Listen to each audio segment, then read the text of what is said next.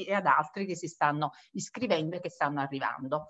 Allora, eh, inizio da, una, eh, diciamo, da, un bellissimo articolo che io ho avuto modo di leggere sul Financial Times di Rachman. E, il fondista in questo, in questo articolo spiegava che eh, a fronte di una eh, formale equiordinazione di tutte le persone nella titolarità del sacrificio corrispondeva in via di fatto invece una sostanziale disuguaglianza. E, ehm, e questa, questa, affermazione a me è piaciuta molto e mi ha indotto appunto a meditare che cosa nella prima fase del, di questa pandemia e di questa regolazione per mano del Presidente del Consiglio avesse determinato quanto Rachman infatti diceva, che potrei sintetizzare nell'espressione di una eh, asimmetria negli effetti sociali.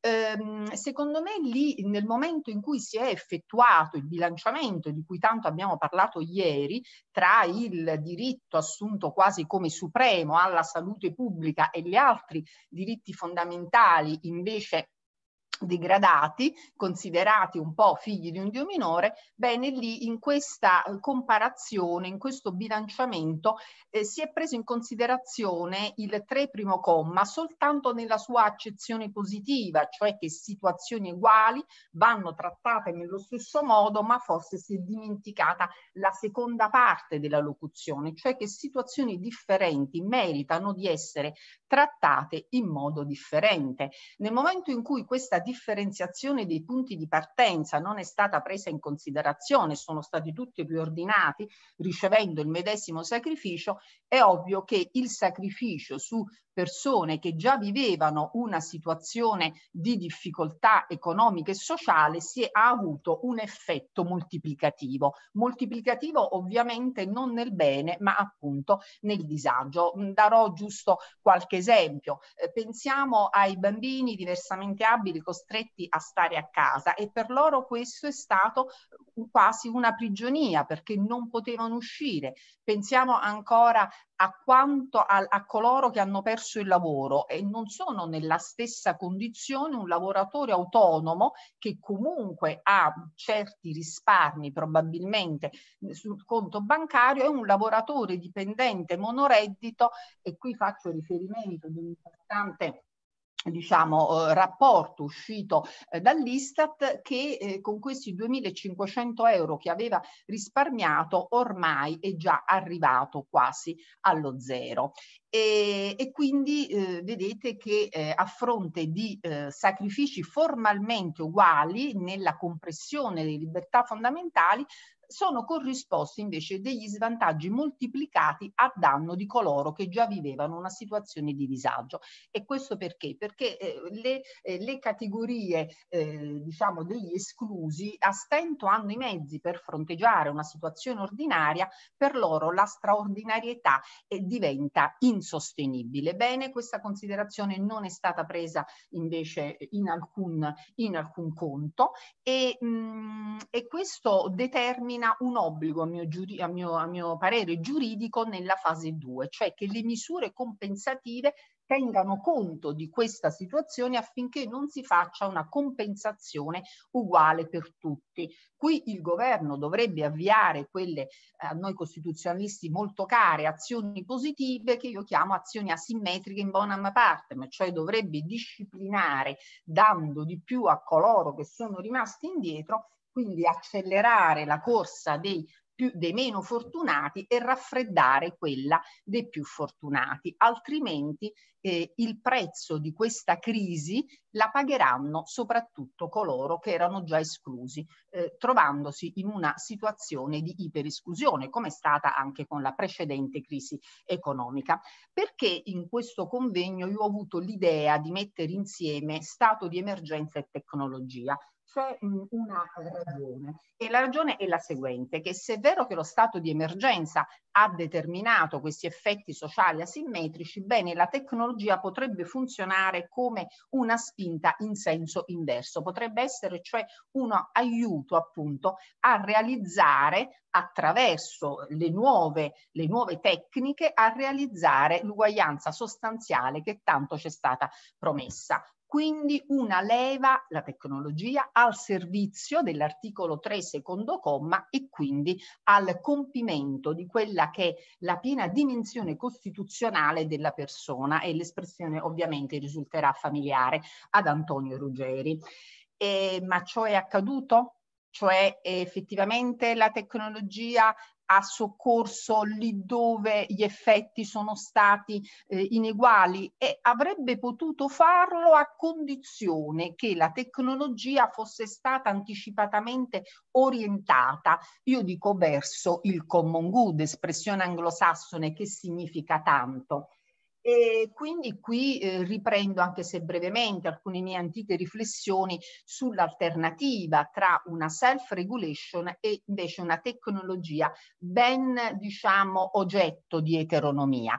Eh, se la tecnologia fosse, come è invece, affidata eh, alle forze naturali della domanda e dell'offerta che nel nostro sistema significa i poteri economici forti, le cosiddette autorità private, auto i gruppi privati di interesse, bene, se se così fosse, e ovviamente la tecnologia finirebbe per giocare soltanto a vantaggio di questi soggetti, avrebbe cioè una inevitabile, un fisiologico esito egoistico. Come dicono alcuni inglesi, Kay Vickers, ehm, quando l'interesse pubblico è affidato ai gruppi privati di interesse, la realizzazione del common good è un evento del tutto eventuale ed occasionale, dipendendo dalla coincidenza del common good con la prospettazione privata. Ebbene, lo Stato non può scommettere solo sulla parte buona dell'individuo e sperare che essa si realizzi, ma deve prendere in considerazione l'ipotesi inversa, una normale, fisiologica, ripeto, tensione della persona a vivere riversato, piegato su se stesso ed aiutarlo invece a guardare in alto, a dare attuazione alla spinta verso la solidarietà. Come? Regolando la tecnologia. E qui le regolazioni dovevano andare in una doppia direzione, ma questo è un discorso che si doveva fare in anticipo nel tempo. Quale direzione? Da un lato utilizzare sì privati, ma disciplinando anticipatamente la fisionomia di questi governi privati di interesse, la democraticità interna, i sistemi elettivi della governance, evitare i conflitti di interesse, la trasparenza del loro assetto, visto che spesso dettano regole che hanno efficacia diretta o indiretta anche sulle nostre situazioni soggettive. Secondo punto, punto direi dinamico, riguarda la funzione regolatoria, se dovesse essere in parte affidata ai privati, si deve trattare di una self-regulation governata da un intervento pubblico che anticipatamente segna l'obiettivo finale, la orienta verso la realizzazione di certi fini stabiliti dal soggetto pubblico e non si limita soltanto ad un compito orientativo, ma già a un contenuto immediatamente prescrittivo, insomma è già una norma di relazione e non è solo una norma di azione sui privati tutto ciò non è avvenuto. Diamo uno sguardo a perché do questo giudizio negativo, non perché io sia pessimista, anzi forse sto correggendo questa parte un po' brutta del mio carattere, ma perché questo effettivamente non è avvenuto, almeno a mio modesto avviso. Andiamo a vedere che cosa è accaduto alla banda larga, alla banda iperlarga, della quale in questi giorni noi avvertiamo tanto il bisogno, proprio perché non c'è. E questa era stata dalla Commissione europea, primo pacchetto direttive, secondo pacchetto direttive delle TLC, finalmente assunta a servizio universale. Dopo la battaglia di molti, io in Italia fui tra i primi a dire che la banda larga deve essere qualificata in termini di servizio universale e non di attività di impresa perché deve rendere un servizio a tutti ovunque questi tutti riseggano e a un costo che sia affordable. Insomma, la banda larga, se è servizio universale e la traduzione in termini di attività, di quella che è la situazione giuridica soggettiva di ciascuno di noi come cittadino della rete verso la rete. Anche qui ripropongo diciamo un mio antico amore, quello cioè dell'accesso come diritto sociale, quindi come un diritto che abbia una sua giuridicità nella doverosità della prestazione per il debitore, anche se diciamo è un po' insufficiente sotto il profilo delle misure coercitive, del come realizzarlo. Ebbene, proprio qualche giorno fa il nostro Presidente del Consiglio, ovviamente di personale, aveva detto che la banda larga è un diritto sociale. Allora una mia collega che oggi qui è con noi, cioè Fulvia Abbondante, mi dice sarai finalmente contenta, la tua tesi è stata accolta anche politicamente. Eh, ma come per esempio gli studiosi, e qui faccio riferimento eh, ad Antonio Daloia, ma tanti altri, Antonio Ruggeri, sanno il diritto sociale non basta che sia qualificato tale, occorre che lo Stato faccia dei significativi passi avanti, cioè si muova nella direzione di attuare l'accesso. Qui la direzione di attuare l'accesso significava stenderla su tutto il territorio indifferentemente, coprendo anche quelle zone lì dove la mano privata non arriva, che sono disutili economicamente. Ciò non è accaduto, vi do solo un dato, siamo i penultimi nella classifica europea e abbiamo una banda a 100 megabytes che copre solo il 26% della popolazione contro la media europea che supera il 60%. E voi direte, ma è così grave? E lo è, perché nel momento in cui il diritto fondamentale che andiamo ad esercitare in rete, sia esso il freedom of speech, sia esso un altro diritto sociale, pensiamo all'e-learning o anche il diritto a una prestazione sanitaria o anche diritti fondamentali quale quello che stiamo noi in questo momento esercitando, di riunirci e di parlare, bene, necessita della banda larga, ecco che essa diventa la condizione giuridica essenziale affinché il diritto fondamentale non si limiti a una mera titolarità, ma sia una concreta possibilità per tutti e qui direi soprattutto per coloro che altrimenti non potrebbero esercitarli. Avrebbe quindi assolto una funzione di, eh, di, elemento che accorcia le distanze, che asciuga le differenze sociali, una fixio iuris tecnologica bellissima che avrebbe reso uguali coloro che uguali non erano, consentendo a tutti di esercitare questi diritti in rete. Ma ciò non è stato.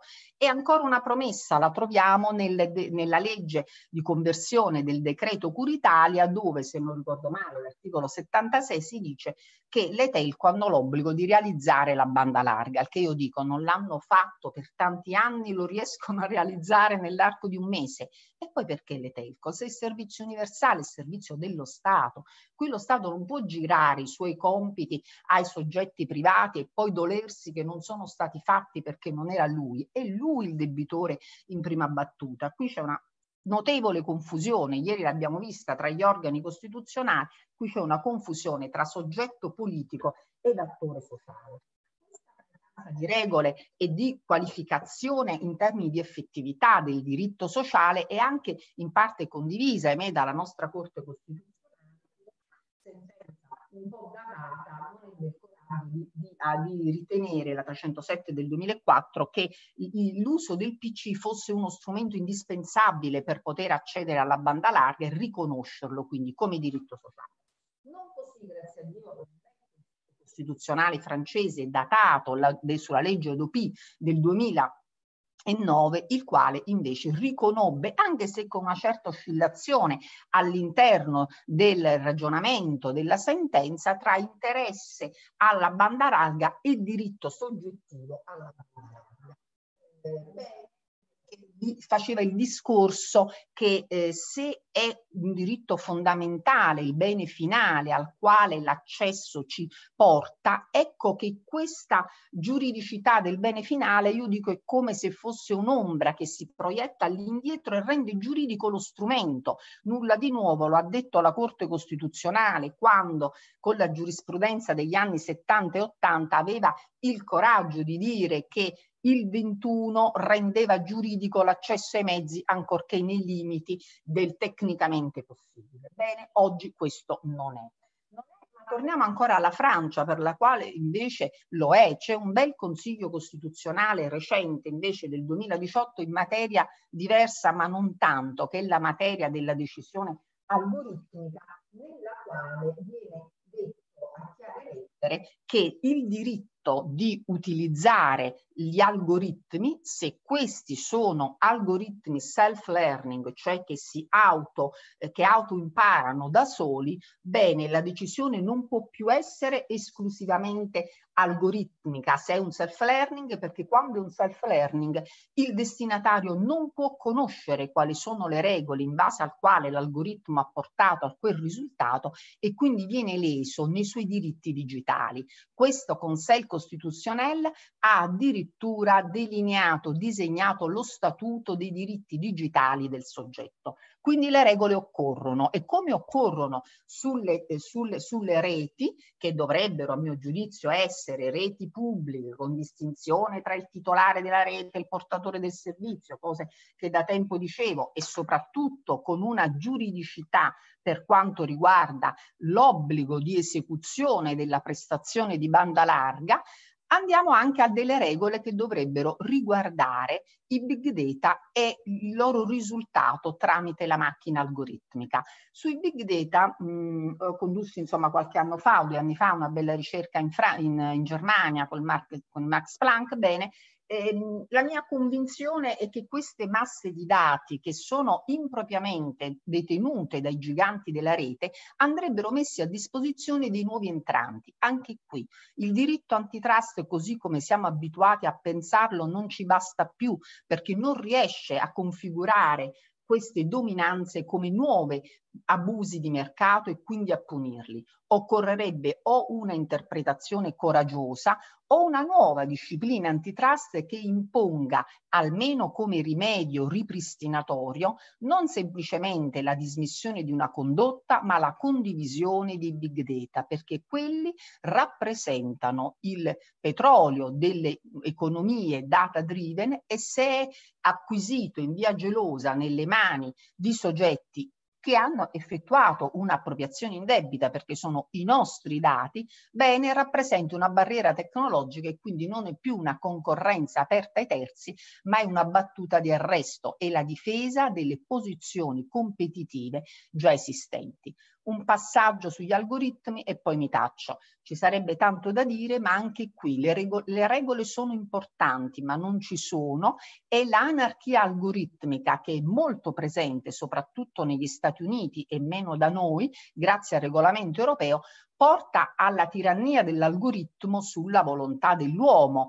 al punto tale che la decisione la assume la macchina e il destinatario di effetti pregiudizievoli per lui e per un'intera categoria, perché sono massificanti come decisioni, bene, non ha neanche il diritto di conoscere, non dico il codice sorgente, ma almeno come l'algoritmo stia funzionando, perché gli americani dicono è trade secret, è segreto industriale, si tutela tutela la proprietà, tu non hai diritto a sapere nulla. Ma se l'algoritmo, come per le reti, sono strumenti al servizio del bene pubblico, la disciplina deve essere acquisita al diritto pubblico e allora il trade secret deve fare molti passi indietro dinanzi al nostro diritto alla piena trasparenza, che mentre all'epoca del 97 della Costituzione era il diritto di entrare nella procedura amministrativa, ora la privacy è diventata tutt'altro, è un triangolo, è il diritto di interloquire non solo con chi tratta i dati, ma con chi utilizza l'algoritmo affinché l'algoritmo non sia una macchina oscura che decide sul nostro destino e spesso in maniera, diciamo, iniqua, in maniera bias, in maniera discriminatoria, senza poterla con difficoltà anche di contestarla in tribunale, perché quando entra un algoritmo, il caso Lumis è, è, è, semplificativo, il giudice quasi alza le mani, anche se poi nella sentenza dice che non l'ha seguito. Perché? Perché ha una parvenza di legittimità, gli americani parlano appunto di un label, di una parvenza di legittimità, in quanto sembrerebbe obiettivo. Chiudo quindi con un auspicio e l'auspicio è il seguente, che la seconda fase, la fase 3, la fase del rientro nella legalità, essendo stata tutta tipica questa emergenza, sia tipica anch'essa, cioè non dobbiamo rientrare nella condizione in cui eravamo prima, cioè una condizione di forti disuguaglianze sociali, ma dobbiamo fare un passone in avanti. E come la solidarietà è stata chiesta a noi, qui siamo noi a doverla chiedere al nostro Stato, come il nostro Stato la sta chiedendo, in parte ottenendo dall'Europa, ed è la solidarietà finalmente di avviare le azioni asimmetriche in buona parte, ma verso noi, e di rendere pubblici quei servizi, quelle attività, quelle regole che servono per la realizzazione dei diritti sociali. Grazie dell'attenzione. Allora, siete tutti in linea con me? Sì. Io passerei la parola ad Andrea Simoncini, che ti puoi aprire tranquillamente il microfono, per una riflessione su atto pubblico ai confini dello Stato di diritto. Prego Andrea. Allora, ehm, io intanto ringrazio Giovanna per questo eh, invito. Ho sentito la sua introduzione con grande interesse Uh, io in realtà è, è, è, centrata molto sulla, diciamo, su, sugli effetti anche di diseguaglianza digitale che si stanno creando in questi momenti e che mi interessano moltissimo. A me però, eh, devo, devo, devo, essere franco, quando ho ripreso il titolo, stavo riflettendo sul titolo abbastanza enigmatico del mio intervento, che sicuramente devo aver concordato con Giovanna, non, non metto in dubbio, non penso di essermelo inventato io, ma, eh, ma di fronte al quale eh, mi trovavo un po' in difficoltà. Allora è venuto in aiuto Riccardo Lunas con un articolo su Repubblica di ieri che inizia così e così potrei sintetizzare un po' il tema che vorrei colpire con, questo, eh, con questa eh, mia breve comunicazione su atto pubblico ai confini dello Stato di diritto. Dice Luna, con la fase 2 sembra iniziata anche una fase nuova del rapporto tra politica e scienza per oltre due mesi gli scienziati hanno dettato l'agenda, i virologi e gli epidemiologi hanno di fatto scritto le regole su cui si sono basate le compressioni dei nostri diritti individuali, hanno ottenuto il lockdown chiudendo scuole, uffici, parchi, negozi, cinema, teatri. Qui il passaggio. Sono stati gli oracoli che la sera in tv, laddove un tempo c'erano i politici, ci indicavano la retta via, quella per sopravvivere. Questo riferimento agli oracoli, per descrivere la, fa- la fase attuale del rapporto tra politica e scienza, mi ha suggerito un'immagine che spero di, eh, consenta di sintetizzare in maniera breve il contenuto di quello che vorrei sottolineare con questo mio intervento. Eh, recentemente, molti di voi l'avranno letto, Marta Cartabia e Luciano Violante hanno riproposto la lettura delle tragedie di Edipo e di Antigone, eh, considerandole come una grande metafora per il diritto contemporaneo. In effetti, nella tragedia di Edipo, un ruolo assolutamente determinante per tutto il corso degli eventi è proprio quello giocato da un oracolo, quello di Delfi.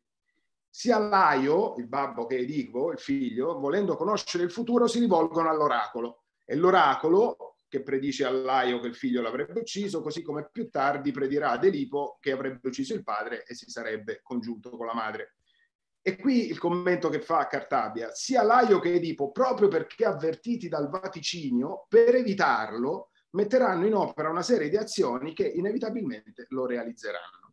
Paradossalmente è questa conoscenza del futuro prima che essa accada ad innescare quel corso di azioni che condurrà alla hubris sia del padre che del figlio. Ora, la possibilità di predire il futuro è un desiderio con il quale l'uomo ha combattuto da sempre. In fin dei conti, tutto lo sforzo della scienza e della tecnica non è quello forse di cercare leggi, formule, modelli in grado di spiegare gli avvenimenti? Indubbiamente l'avvento della fisica quantistica, il principio di indeterminazione, la logica probabilistica hanno aperto scenari nuovi, ma un punto non è mai stato messo in discussione finora.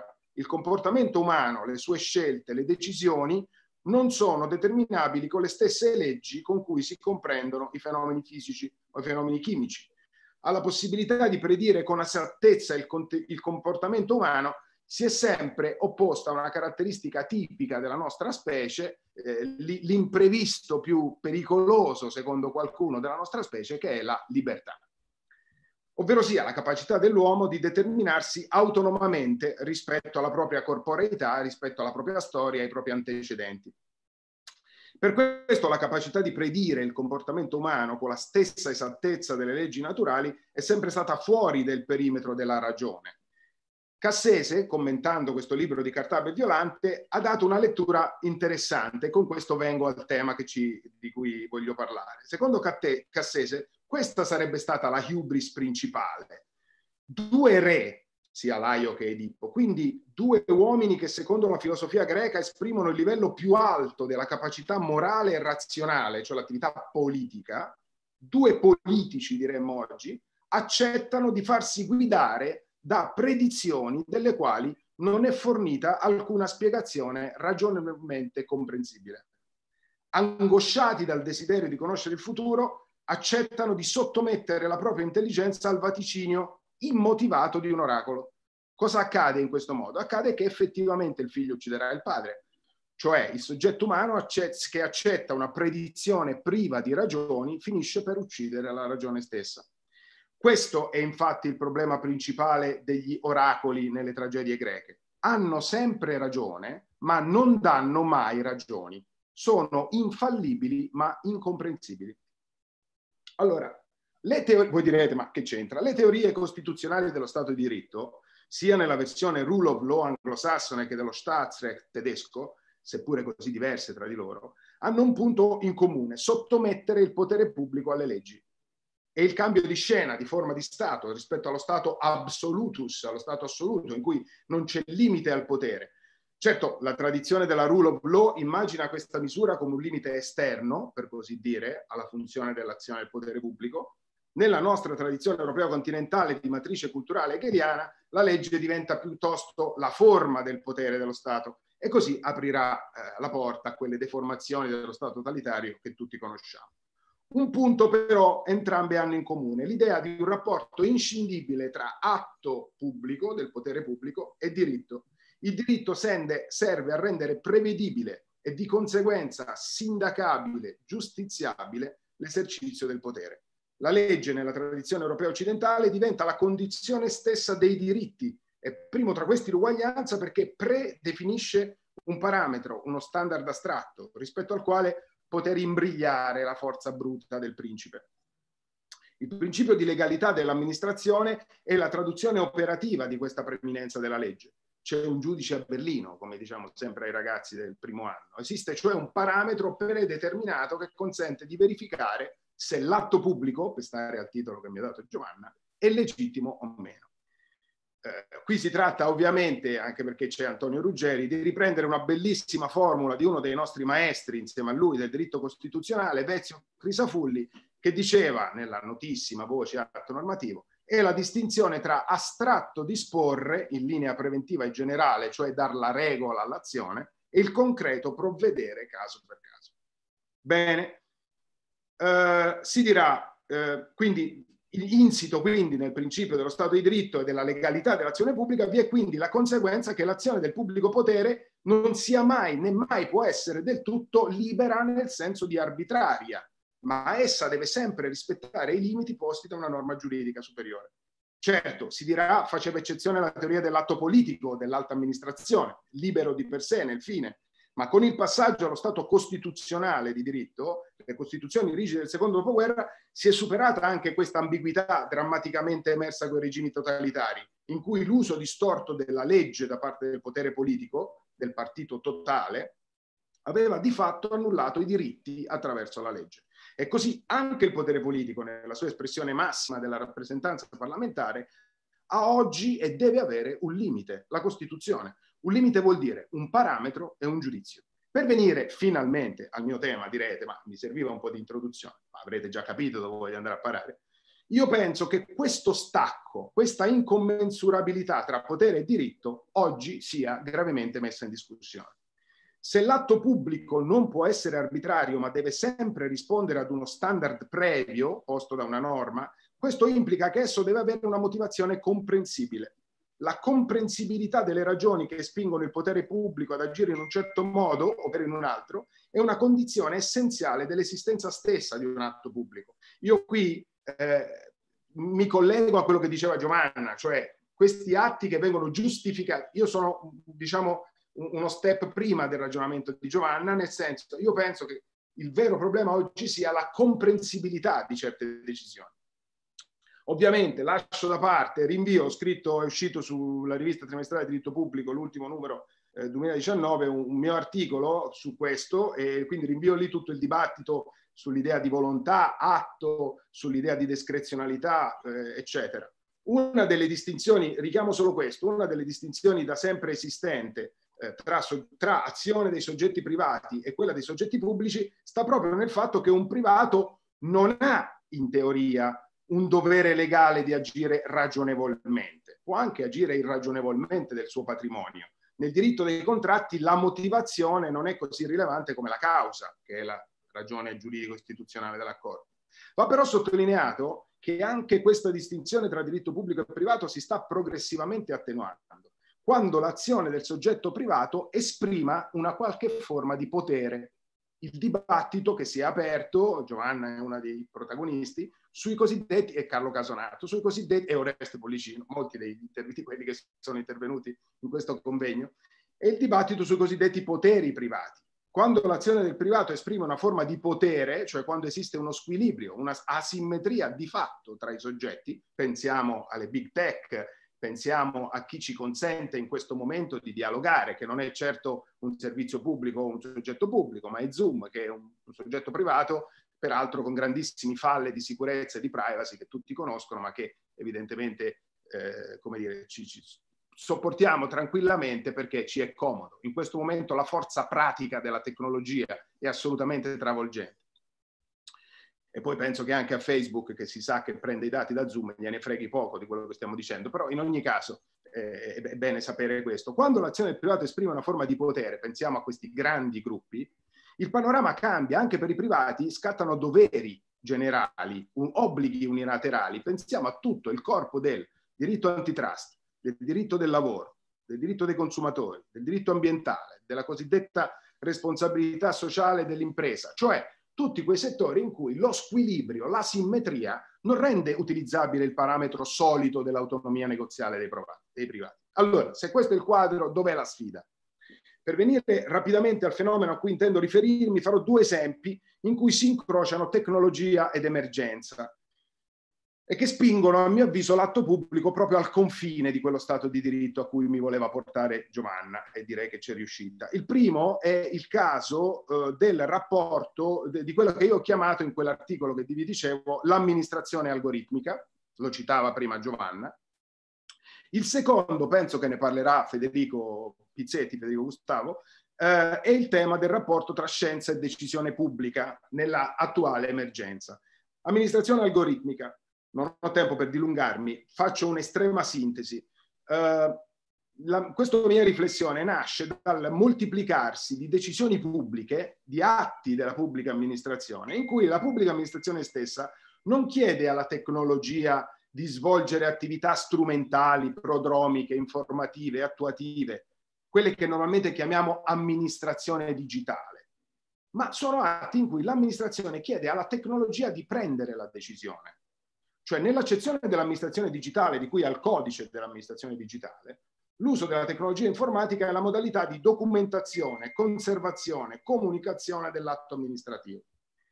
Nei casi di cui parlo io invece, la situazione è del tutto diversa. La tecnologia informatica non viene usata per redigere l'atto, per conservarlo o per trasmetterlo, ma per determinarne il contenuto. I casi che ho esaminato sono le piattaforme informatico-telematiche attraverso cui si accettano domande, quasi tutte, se ci riflettete, la gran parte dei, fondi per ricerca scientifica, ma anche domande di partecipazione ad appalti, oggi vengono gestite da piattaforme telematiche e su questo si è creato un corpus di giurisprudenza tra TAR e Consiglio di Stato che a mio avviso è molto interessante, faccio rinvio a quel, a quel giudizio. L'altro caso divertente è quello della buona scuola e dell'uso dell'algoritmo per assegnare i professori eh, alle sedi di servizio, eh, con tutto il problema che si è creato, il diritto di accesso, eccetera.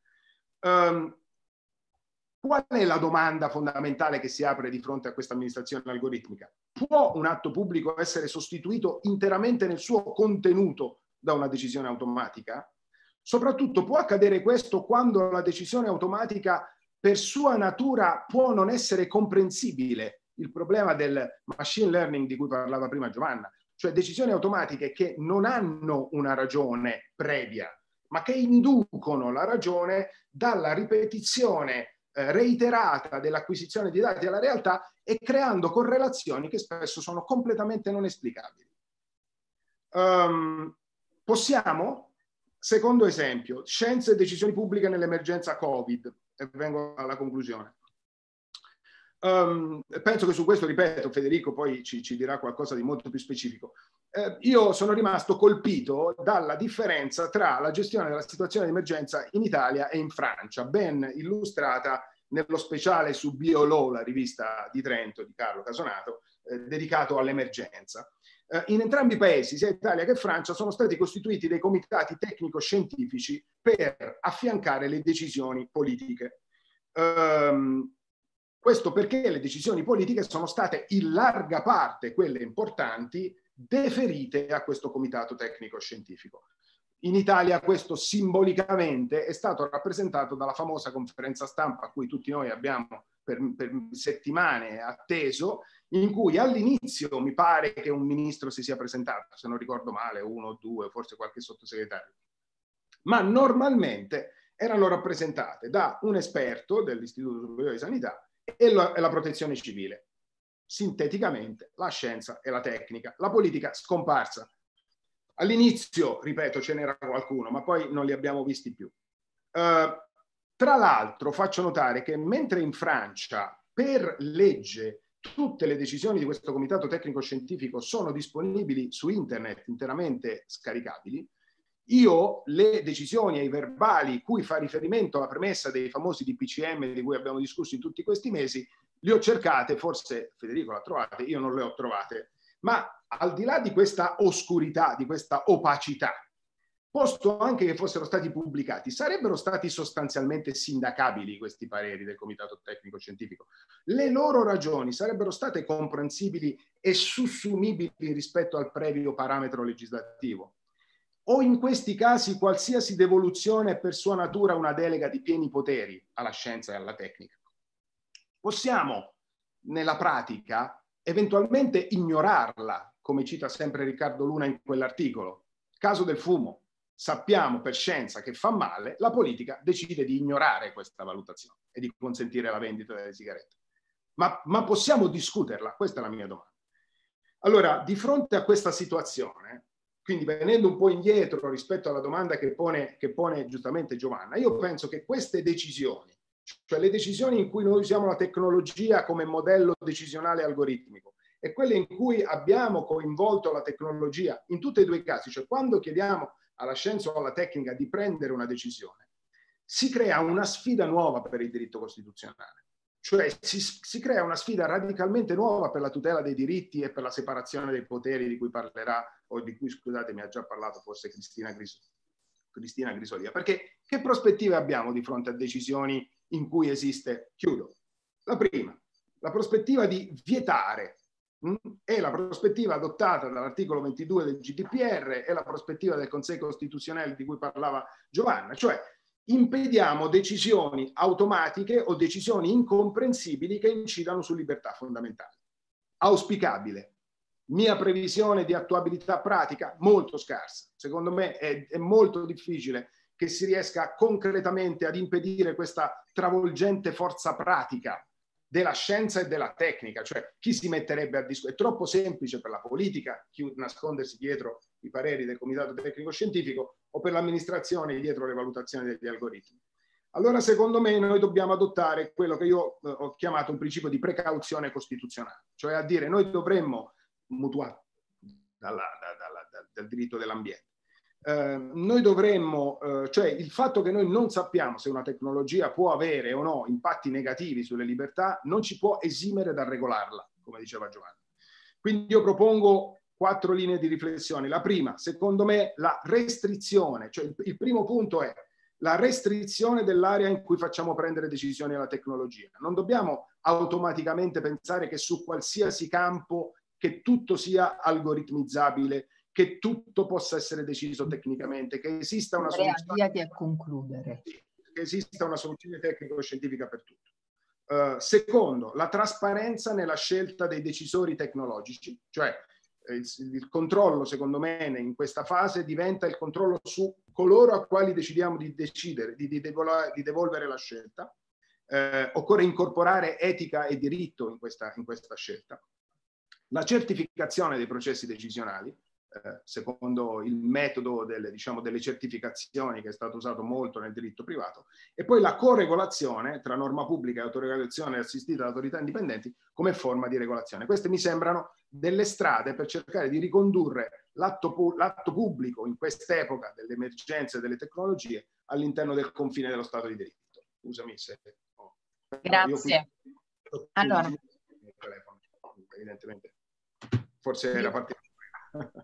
Mille grazie ad Andrea. Eh, come vi avevo promesso entro in punta di piedi, visto che mi sono un po' dilungata nell'introduzione, sarò più che asciutta, ma non nel commento, non mi permetto di commentarvi, ma semplicemente voglio ricordare qualche frase più bella che avete detto quando uno ad occhi chiusi, non so, sente, ascolta una musica o, o, sente qualcosa, ricorda qualcosa di molto bello. Quindi grazie Andrea per averci detto che i privati non, non devono agire ragionevolmente, ma quando l'azione del soggetto privato esercita un potere pubblico, allora deve essere acquisita all'ambito del diritto pubblico. Mi ha fatto ricordare eh, le private interest government di eh, di Street e Schmitter. Eh, leggeremo tutti questo bel scritto sicuramente che Andrea ci ha, ci ha annunciato. Um, ho fatto qualche riflessione aggiuntiva sui governi privati di interesse um, in uno scritto inglese che sta per uscire in un volume curato da Antonio Daloia, da Edoardo Raffiotta e da eh, John eh, John Hugh della Berkeley University. Ora do la parola, possibilmente sempre nei nostri 15 minuti, evitate che io debba intervenire, a Federico Gustavo Pizzetti che ci intratterrà su decisione politica ed expertise tecnico. Prego Federico. Grazie, grazie eh, Giovanna, eh, grazie per la parola, ma soprattutto grazie davvero eh, per l'invito al, a questo interessantissimo eh, convegno. Eh, devo dire che eh, la mia, come dire, eh, il mio intervento è mh, mm, notevolmente agevolato, anzi in qualche modo sarà, eh, come dire, una eh, ripresa in tono ovviamente minore dalle relazioni che hanno tenuto ieri eh, il professore Patroni Griffi e poco fa eh, professor Simoncini, perché hanno davvero inquadrato molto meglio di come sarò in grado di fare io, inquadrato e sviluppato il tema del rapporto tra decisione eh, politica ed expertise, ed expertise tecnico. Eh, io avevo immaginato così questa ehm, chiacchierata di andare veramente per punti, anche perché eh, ovviamente cerco di rimanere assolutamente nel tempo assegnatomi. Eh, il primo punto, già ovviamente molto meglio di me detto dai colleghi e che ormai in qualche misura la scienza e la tecnica costituiscono un, eh, una componente o se vogliamo usare un termine che è un pochino più utilizzato nella, eh, dai colleghi di diritto privato, un formante dell'ordinamento, non propriamente una fonte come sappiamo, eh, anche se c'è forse un intervento un po' più, come dire, diretto della tecnica nel quadro normativo che si ha appunto con le famose norme tecniche che hanno però, eh, come sappiamo, sempre come dire, un rinvio, quindi è una scelta che il nostro legislatore fa in modo diretto di appoggiarsi alla cosiddetta normativa tecnica. Lì allora forse l'expertise tecnico da formante entra in maniera anche più decisa a comporre il quadro normativo. Hanno sicuramente un grosso impatto in via indiretta, lo ricordavi tu stessa Giovanna prima molto bene nell'ambito della giurisdizione, eh, ci sono dei casi eh, in cui ancora isolati, ma ieri ne parlava molto bene eh, Antonio Daloia, il professor Daloia riguardo anche all'uso di consulenze neuroscientifiche che possono orientare o meno l'azione della giurisdizione nell'accertamento della responsabilità penale o nell'applicazione delle scriminanti, l'uso, come dire, della tecnica nella giurisdizione si fa sempre più intenso, fino al punto in cui, ma questo, eh, come dire, eh, chi, chi, lo sa, potrebbe essere addirittura sostituita nel caso delle scelte eh, come dire, prese sulle recidive, come sappiamo, da macchine algoritme. E poi c'è un'interazione indiretta che è appunto con il decisore politico. Qui ci sono stati già, come dire, degli studi molto raffinati, penso quelli di, di Carlo Casonato, che hanno individuato nell'expertise tecnico un vero e proprio parametro interposto di costituzionalità sulla base della giurisprudenza della Corte Costituzionale che tutti conosciamo. Quindi in questo senso, in qualche misura, la scienza e la tecnica si fanno eh, parametro interposto di ragionevolezza e si era parlato appunto di una eh, ragionevolezza scientifica. Tra l'altro qui in qualche modo apro una parentesi che però mi sembra significativa in un contesto un poco, se vogliamo, mutato nel rapporto tra politica e scienza e tecnica, perché quelle, quella giurisprudenza si era in qualche modo formata sulla base di scelte politico-legislative che erano state fortemente avversate dalla componente scientifica. Mm, penso ovviamente al caso dell'obbligo di impianto dei tre, dei tre embrioni, ma anche le decisioni assunte rispetto al caso Stamina, cioè lì la politica era stata in qualche modo accusata di un atteggiamento antiscientifico, quindi il recupero della ragionevolezza scientifica era anche come dire, un modo per contenere quella che era apparsa una, appunto, una pura valutazione di discrezionalità politica che andava contro a dati di fatto. Qui invece rispetto all'attuale pandemia da Covid-19, come benissimo ha detto prima eh, il professor Simoncini, siamo un poco all'opposto, cioè in qualche modo qui non si sta accusando il legislatore di essere o il decisore politico di essere antiscientifico, ma al contrario di essere appunto in qualche modo condizionato dalla scienza e dalla tecnica prese in modo oracolare. Leggevo ieri eh, sull'Huffington Post, la scienza sostituita alla religione, la scienza che deve dare delle certezze. Ehm, quindi questo è un punto che in qualche modo cambia, cambia il rapporto. Eh, oltre che parametro interposto di costituzionalità, la scienza e la tecnica, sia in un caso precedente, l'ho richiamato prima, quello dell'obbligo vaccinale, sia adesso con l'intervento, tra l'altro siamo sempre un po' nell'ambito dello stesso quadro, ovviamente in termini generalissimi, cioè di una protezione da, da possibili epidemie, no? non tanto ovviamente sulla scala, quello dell'obbligo vaccinale era molto più ridotto rispetto al Covid, sono stati presupposto dell'azione legislativa d'urgenza, tanto sul decreto legge sulle vaccinazioni quanto adesso sui decreti legge e poi sugli atti ad essi conseguenti, i DPCM. Quindi anche in questo senso qui la scienza e la tecnica non si fanno solo parametro interposto di costituzionalità rispetto a decisioni maturate in Parlamento, ma si fanno, integrano la fattispecie del 77 dal punto di vista dell'individuazione del caso stesso di straordinaria necessità ed urgenza. Allora, qual è un po' il quadro costituzionale del rapporto tra scienza e tecnica e decisione politica. Eh, è un quadro che era stato già benissimo definito in un saggio di Cheli sulla rivista AIC, e cioè eh, il, la, l'aggancio non può che trovarsi nei principi fondamentali, e cioè in modo particolare nell'articolo 9, articolo, come dire, a lungo dimenticato, poi in qualche modo ampiamente eh, riscoperto e ripreso come fondamento del diritto ambientale, ma ovviamente l'articolo 9, come sappiamo, parla anche della Repubblica che promuove lo sviluppo scientifico e tecnologico. Quindi c'è un favor per la scienza che viene vista però in un contesto più ampio, che si lega, se vogliamo, allo stesso principio lavorista. Qui professor Luciani ha dato una lettura antropologica di questo principio, no? quindi come la scienza e la tecnica come lavoro, come attività dell'uomo, quindi non il lavoro in questo senso ovviamente salariato o autonomo, ma come attività dell'uomo attraverso le quali l'uomo comprende il mondo nel quale si trova e cerca di trasformarlo. Sappiamo che la scienza è anche libera, anche se non in senso assoluto, in quanto anche le ricerche scientifiche devono rispettare il principio personalista, ci sono scritti di Chiefi su questo illuminanti, e la tecnica, se vogliamo, ancora più limitata della scienza. Non, è non a caso, in qualche modo, l'articolo 9 dice la ricerca scientifica e tecnica. Le due formule sono messe in qualche misura a indicare un, una, un, come dire, maggiore libertà che deve essere data alla scienza, una come dire, maggiore capacità di regolare l'applicazione tecnica perché sappiamo molto bene che l'applicazione tecnica può avere utilizzi, come dire, per il bene o per il male dell'uomo, laddove la conoscenza scientifica tende, a, a meno che essa non, usi, non violi la dignità umana, tende ad avere, come dire, una maggiore, una maggiore neutralità. Questo ci, il, il collegamento col principio personalista eh, ci richiede di vedere la scienza e la tecnica ovviamente non come opposte eh, alla, eh, al, al, principio, al, principio, personalista, ma come integrate nello stesso, no?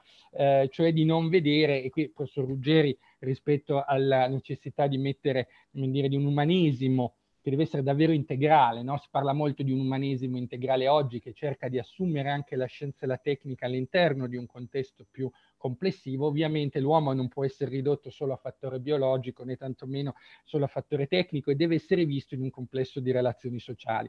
Questo ci dice un punto interessante, cioè che spesso il decisore politico deve bilanciare non soltanto come dire, l'interesse alla salute e alla vita, rispetto al quale evidentemente la scienza e la tecnica, soprattutto quelle biomediche, hanno molto, molto da dire, ma le deve bilanciare anche rispetto a un apprezzamento di relazioni sociali. Questo si è visto in alcuni elementi della giurisprudenza.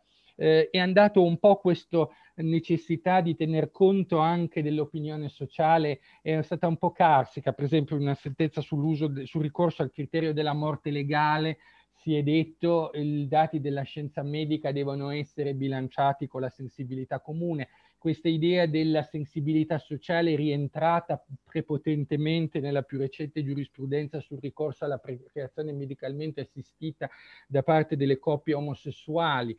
Quindi in qualche modo c'è una dimensione culturale più ampia di cui il legislatore politico, proprio in quanto pluralista e rappresentativo di una democrazia pluralista, deve tenere conto. D'altra parte anche la scienza, qui è stato detto molto bene, noi in qualche modo, forse questo è un po' retaggio della nostra cultura, come dire, nazionale, abbiamo uno strano rapporto nei confronti della scienza, appunto talvolta tendiamo a metterla da un canto, dall'altra ci affidiamo troppo, immaginando appunto che la scienza possa dare certezze. Tuttavia la scienza dà soprattutto un metodo, poi le stesse certezze sono poste continuamente a riesame, a ridiscussione e da questo punto di vista io non so se la scienza sia o meno democratica, no? la famosa frase di Burioni, però sicuramente scienza e democrazia condividono tantissimi punti in comune e non è un caso che lo sviluppo scientifico e lo sviluppo della democrazia dei moderni siano nate dalla stessa temperia culturale. Quindi anche la scienza è sovente incerta, e soprattutto quando il fenomeno è nuovo, anche qui l'emergenza scientifica si carica doppiamente, noi abbiamo un'emergenza decisionale ma abbiamo anche una scienza che sta conoscendo un fenomeno nuovo, che ha i suoi tempi, che non sempre sono compatibili come l'emergenza. Quindi noi vogliamo che lo scienziato ci dica già come funziona questo virus nel suo dettaglio, eccetera, eccetera. È chiaro che questo non sempre è possibile.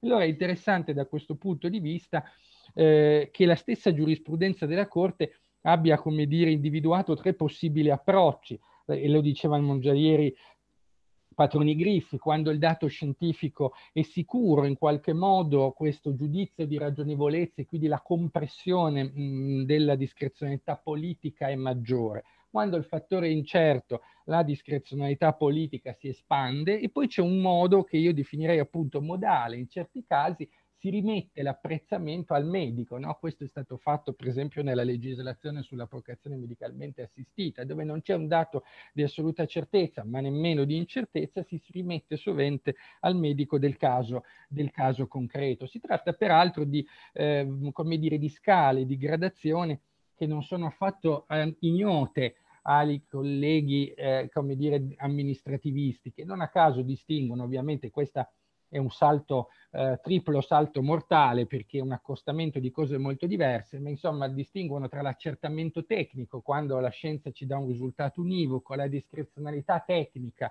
quando in qualche modo la scienza non ci dà un risultato univoco, ma l'interesse è uno solo, e poi la discrezionalità mista, quando l'amministrazione si trova a ponderare una molteplicità di interessi di cui il fattore tecnico è solo uno, penso alle valutazioni di impatto ambientale, che non a caso non si possono basare, ci dice la nostra giurisprudenza amministrativa, soltanto sul fattore scientifico e tecnico, ma devono tener conto anche di altri fattori.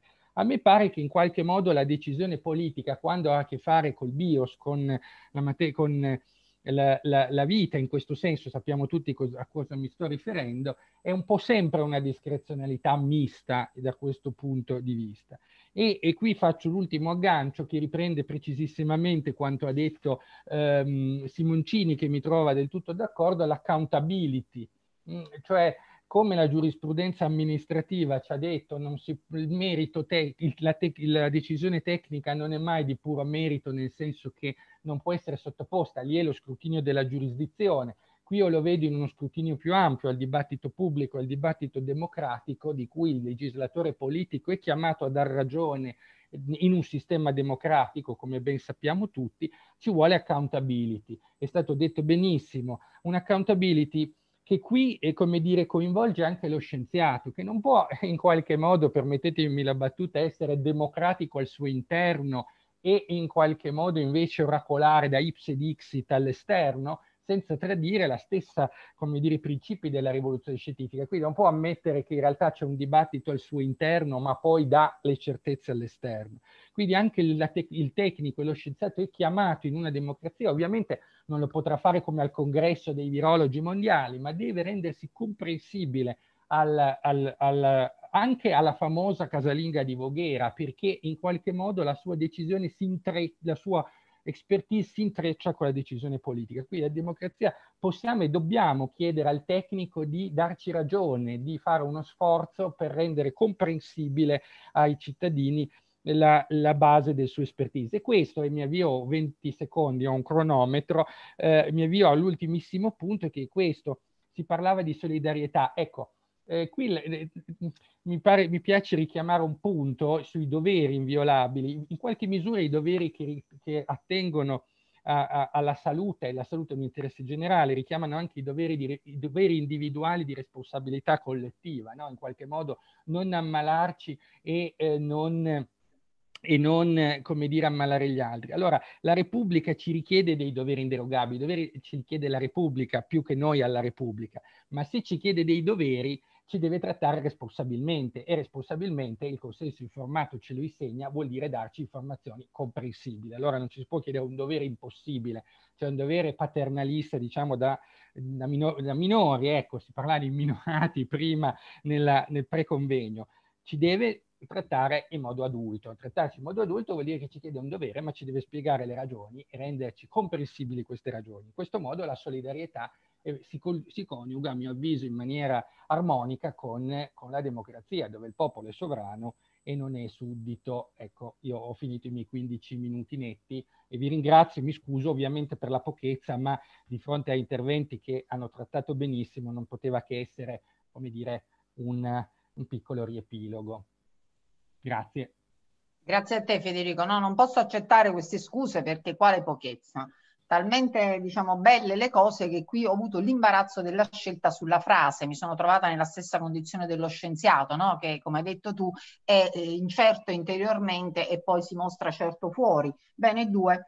Allora, il favore per la scienza tecnica che da fattore extraordine, cui la fattispecie progressiva rinvia, invece acquista una dignità costituzionale quando diventa elemento interpretativo dell'articolo 77. Poi bella questa immagine dello scienziato combattuto tra eh, diciamo, le incertezze interiori che vive con se stesso e questa simulazione di infallibilità, di incontrovertibilità della scienza che offre a noi e che giustamente almeno andrebbe soddisfatta con un nostro diritto alla piena conoscenza e mi fa ricordare le belle parole della Lorenza Violini sulle questioni scientifiche controverse.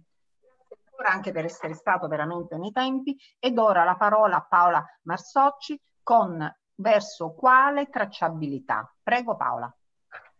Allora, grazie Giovanna davvero per questo bellissimo incontro, grazie al professor Bellone e grazie tanto a tutti quelli che hanno lavorato all'incontro perché sono tante persone che è bene sempre ringraziare.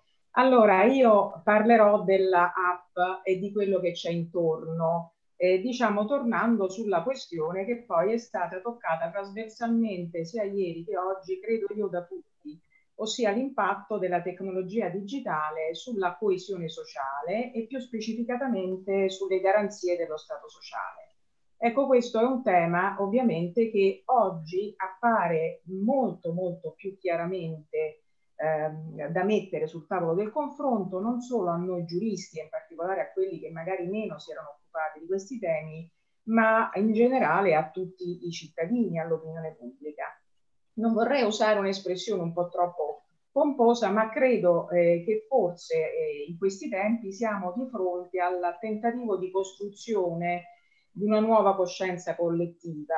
Eh, non dico che questo stia avvenendo in maniera armoniosa, eh, anzi sta avvenendo in maniera conflittuale, come anche è giusto, immaginabile che sia, e in questo piccolo grande dibattito sull'app eh, fosse proprio un caso emblematico. Questa app che io chiamerò forse immuni, sia perché non si sa ancora come sarà definita, se sarà definita con un nome specifico anche al fine di comunicarla, sia perché ovviamente la questione dell'immunità è proprio, come si diceva adesso, da un punto di vista scientifico, la questione più delicata. E allora par- partirò dall'ultimo atto di cui ieri ha parlato per esempio solo Pollicino in maniera esplicita, cioè dall'articolo 6 del decreto legge del 30 aprile che è entrato in vigore il primo maggio, che appunto disciplina il sistema di allerta Covid-19. Voi sapete tutti che questo decreto legge contiene invece norme soprattutto sulla funzione giurisdizionale, e poi c'è questo articolo dedicato al tema che ci interessa.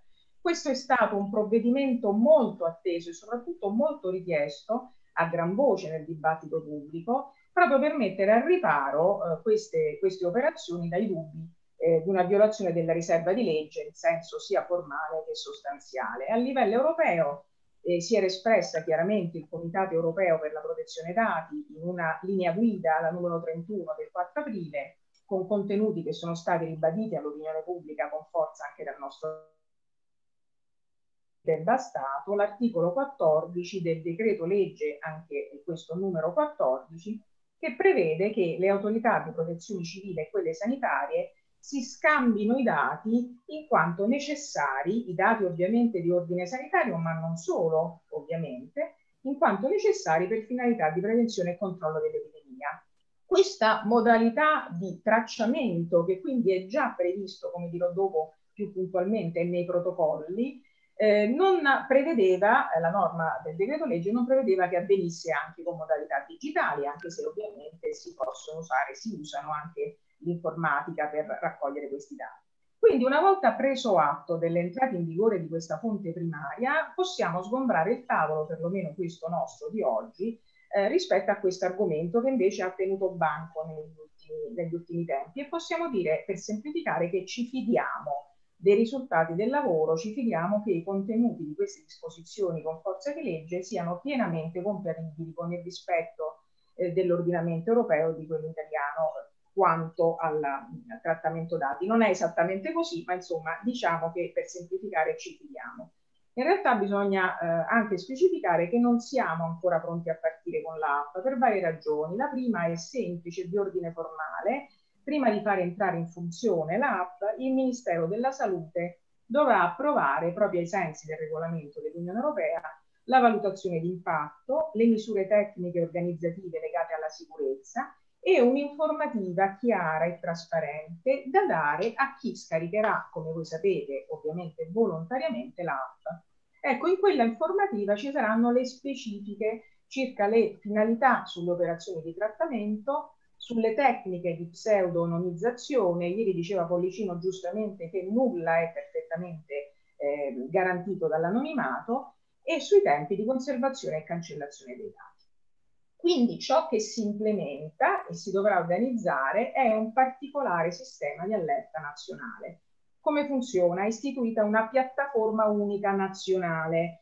Ecco, anche qui per fortuna si sono seguite le indicazioni richieste, si tratta di una piattaforma proprietaria pubblica, ad implementarla sarà l'attuale commissario straordinario per l'emergenza Covid che è Arturi, i programmi informatici ugualmente saranno titolarità pubblica con licenza aperta.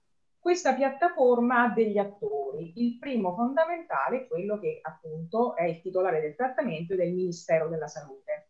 Insieme a lui lavoreranno in coordinamento con lui il Ministero per gli affari regionali e le autonomie e i diversi soggetti che, come tutti noi sappiamo, sono sia pubblici che privati che compongono il Servizio Nazionale della Protezione Civile, più l'Agenzia per la Protezione Civile, l'Istituto Superiore di Sanità e le strutture del Servizio Sanitario Nazionale, anche qui sia pubbliche sia private convenzionate. Quindi il, il nucleo di questa di operatività di questa piattaforma è piuttosto eh, composito. Allora, questo è il quadro organizzativo e ehm, eh, disciplinato a monte, eh, è abbastanza chiaro, lo sarà ancora più a breve. Segnalo però uno spunto interessante che è stato appena richiamato anche da, da collega Pizzetti, eh, cioè il dibattito nutrito che c'è stato fra, fra, tecnici, in particolare tra ingegneri informatici e giuristi. Ieri lo ricordava anche con cose molto interessanti l'ingegnere, il collega ingegnere dell'Università di Napoli che è intervenuto, ed è stato un dibattito, come appena spiegato Pizzetti, molto orientato a tentare di comunicare ovviamente tra saperi eh, scientifici, cercare di comunicare all'esterno con semplicità alcuni punti forti, l'ABC eh, di nostri, queste nostre prese di posizione. Ecco, da una parte giuridica e dall'altra, dall'altra eh, tecnico-ingegneristiche informatiche. Ecco, gli ingegneri informatici, tra le altre cose che hanno, alcuni di questi, hanno fatto emergere in maniera molto chiara è appunto uno dei due temi che vorrei sottolineare all'attenzione, quello della chiarezza di intenti delle politiche pubbliche emergenziali e della precisione delle domande da porre a chi predispone soluzioni tecniche. Quindi hanno, hanno lamentato, ovviamente questa lamentela può essere fatta in assoluto, non soltanto relativamente a questo caso, che non ci fossero richieste rispetto all'utilità precisa che eh, doveva essere eh, procurata da questa app. E allora eh, è, è, meglio sottolineare questo. La finalità generale di questa app è quella di avvertire, allertare le persone che entrano, come, tutto, come tutti ormai noi sappiamo, in contatto stretto con i soggetti risultati poi positivi. Allora, eh, la questione è ancora una volta distinguere il fatto tecnologico dai fattori tecnologici, ossia dalle conseguenze che l'uso delle tecnologie, mai neutrale, ma neanche i fatti tecnologici lo sono mai, ieri è stato ripetuto molto correttamente, e questa valutazione va fatta possibilmente a monte. Quindi l'app in questo caso serve a supportare le procedure e quindi si affianca le procedure operative sanitarie di contact tracing che avvengono secondo protocolli standard disciplinati da linee guide dell'ente europeo protocolli epidemiologici. Quindi il trattamento digitale va a supportare un trattamento che possiamo chiamare per capirci analogico, cioè eh, umano, fatto, come voi sapete, da uno staff di persone che lavora al servizio eh, di queste strutture. Quindi eh, è anche la questione degli automatismi, del, eh, di cui si parlava prima dell'intelligenza artificiale. Ecco, no, queste cose devono essere ponderate poi da uno staff di persone. Quindi la domanda a monte sarebbe dovuta essere che qualità di dati ci serve per questo esatto scopo? Come si fa con l'aiuto del digitale a fare meglio il lavoro di questi staff, eh, tenendo sempre presente che va fatto il prima possibile? Ecco, l'app ci dice soltanto che si è stati vicini a determinate persone, non per esempio in che contesto lo si è stato. Questo contesto sarà decodificato appunto da questo staff di persone che ovviamente andrà enormemente ampliato, cosa che stanno già facendo in altri paesi reclutando personale. Questo forse sarà una piccola risposta, scusate, alla, alla domanda di lavoro di questi tempi ma il contesto specifico, per esempio, il fatto che sia avvenuto il contatto in un spazio aperto, molto areato o addirittura o, o sanificato, che ci sia invece un muro sottile che separi, ecco, tutto questo deve essere ponderato, valutato dalle persone poi all'atto dell'intervista. Paradossalmente anche il tema della geolocalizzazione, che giustamente si è sempre detto è indiscutibile che sia maggiormente lesiva della privacy, potrebbe andare, entrare in gioco utilmente, perciò occorre valutare il fattore tecnologico, cioè l'impatto della tecnologia. Per esempio a valle si potrebbe immaginare di chiedere il consenso a utilizzare a queste persone che vengono sospettate di essere eh, positive, sospettate una bruttissima parola, ma insomma l'ho utilizzata ormai, eh, di chiedere di utilizzare l'app che molti di noi, io cerco di farlo il meno possibile, già hanno con geolocalizzazioni, per esempio per la navigazione per la, cioè la, la, la il, i percorsi stradali o addirittura le app sportive. In questo modo, effettivamente, con un patrimonio informativo molto più circostanziato, messo a confronto con l'altro, possono essere di utilità per chi va a fare questo lavoro di tracciatura manuale. Ecco, come diceva ieri giustamente Pollicino, il problema è la violazione del principio, cioè la messa in discussione forte del principio di utilità e proporzio- proporzionalità dei mezzi e di obiettivi dei tracciamenti rispetto alle eh, soluzioni tecniche e, e le finalità. Ecco, allora il secondo tema vorrei eh, prospettare, quello della fiducia. Ha detto adesso ehm, Pizzetti accountability, accountability. Allora, la fiducia tradizionalmente in questo, in questo percorso, in questo dibattito anche sull'APA, si è declinata almeno in due prospettive. Io vorrei aggiungere però la terza, la, terza, la prima prospettiva è questa, la fiducia che dobbiamo nutrire noi nelle istituzioni che stanno implementando queste, queste tecniche di tracciamento. E allora anche qua, ma sempre molto perché c'è un problema di tempo per semplificare, facciamo che ci fidiamo, cioè eh, diciamo che occorre fidarsi perché eh, la normativa messa in campo apparentemente sembra rispondere a tutti gli standard di adeguatezza rispetto alla protezione dati e in più c'è la questione eh, della, innanzitutto della, della, dichiarazione che i dati saranno eh, esclusivamente necessari ad avvisare gli utenti, che ci viene detto nel decreto, cosa che ci viene detto nel decreto legge, e poi dalla scelta appunto di non centralizzare la raccolta dati in un server diverso, ma mantenere, decentralizzare i dati sullo smartphone. Dico solo che ovviamente questo non mette affatto a prova di bomba la sicurezza rispetto ai dati che sono lì contenuti, ma comunque appare maggiormente garantista. Il secondo profilo invece è la fiducia che, come si diceva anche adesso, dovrebbe, dovrebbe ripor- dovrebbero riporre le istituzioni nei nostri confronti. Ecco, lo Stato fa un investimento, un investimento in termini concreti di risorse, di organizzazione e, eh, come voi sapete, a carico, appunto, come ho detto prima, del, del budget del commissario straordinario, per essere di aiuto veramente, salve tutte le cose che ho già detto, dovrebbe coprire tra il 60 e l'80% dei contatti, cioè quasi il totale di quelli che hanno lo smartphone in Italia.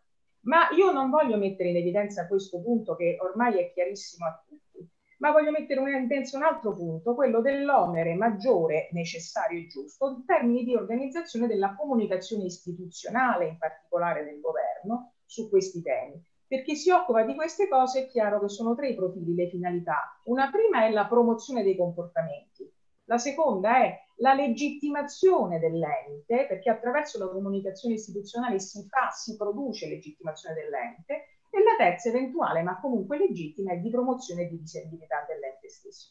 Ecco, non occorre che mi dilungo oltre, la comunicazione istituzionale in Italia sconta ancora dei ritardi fortissimi quanto a correttezza quanto a consapevolezza e quanto ad efficacia e si arriverà, come diceva ieri Massimo Vellone, a utilizzare quest'app magari per convincerci, eh, cioè dovranno, dovranno molto comunicare per convincerci che non si tratta di un'arma di distrazione di massa. Ieri è stato citato Morozov con la, questione del selezionismo di Stato, oppure anche il fai qualunquismo, che è un'espressione italianizzata ripresa da un informatico di Cambridge che si chiama Ross Anderson.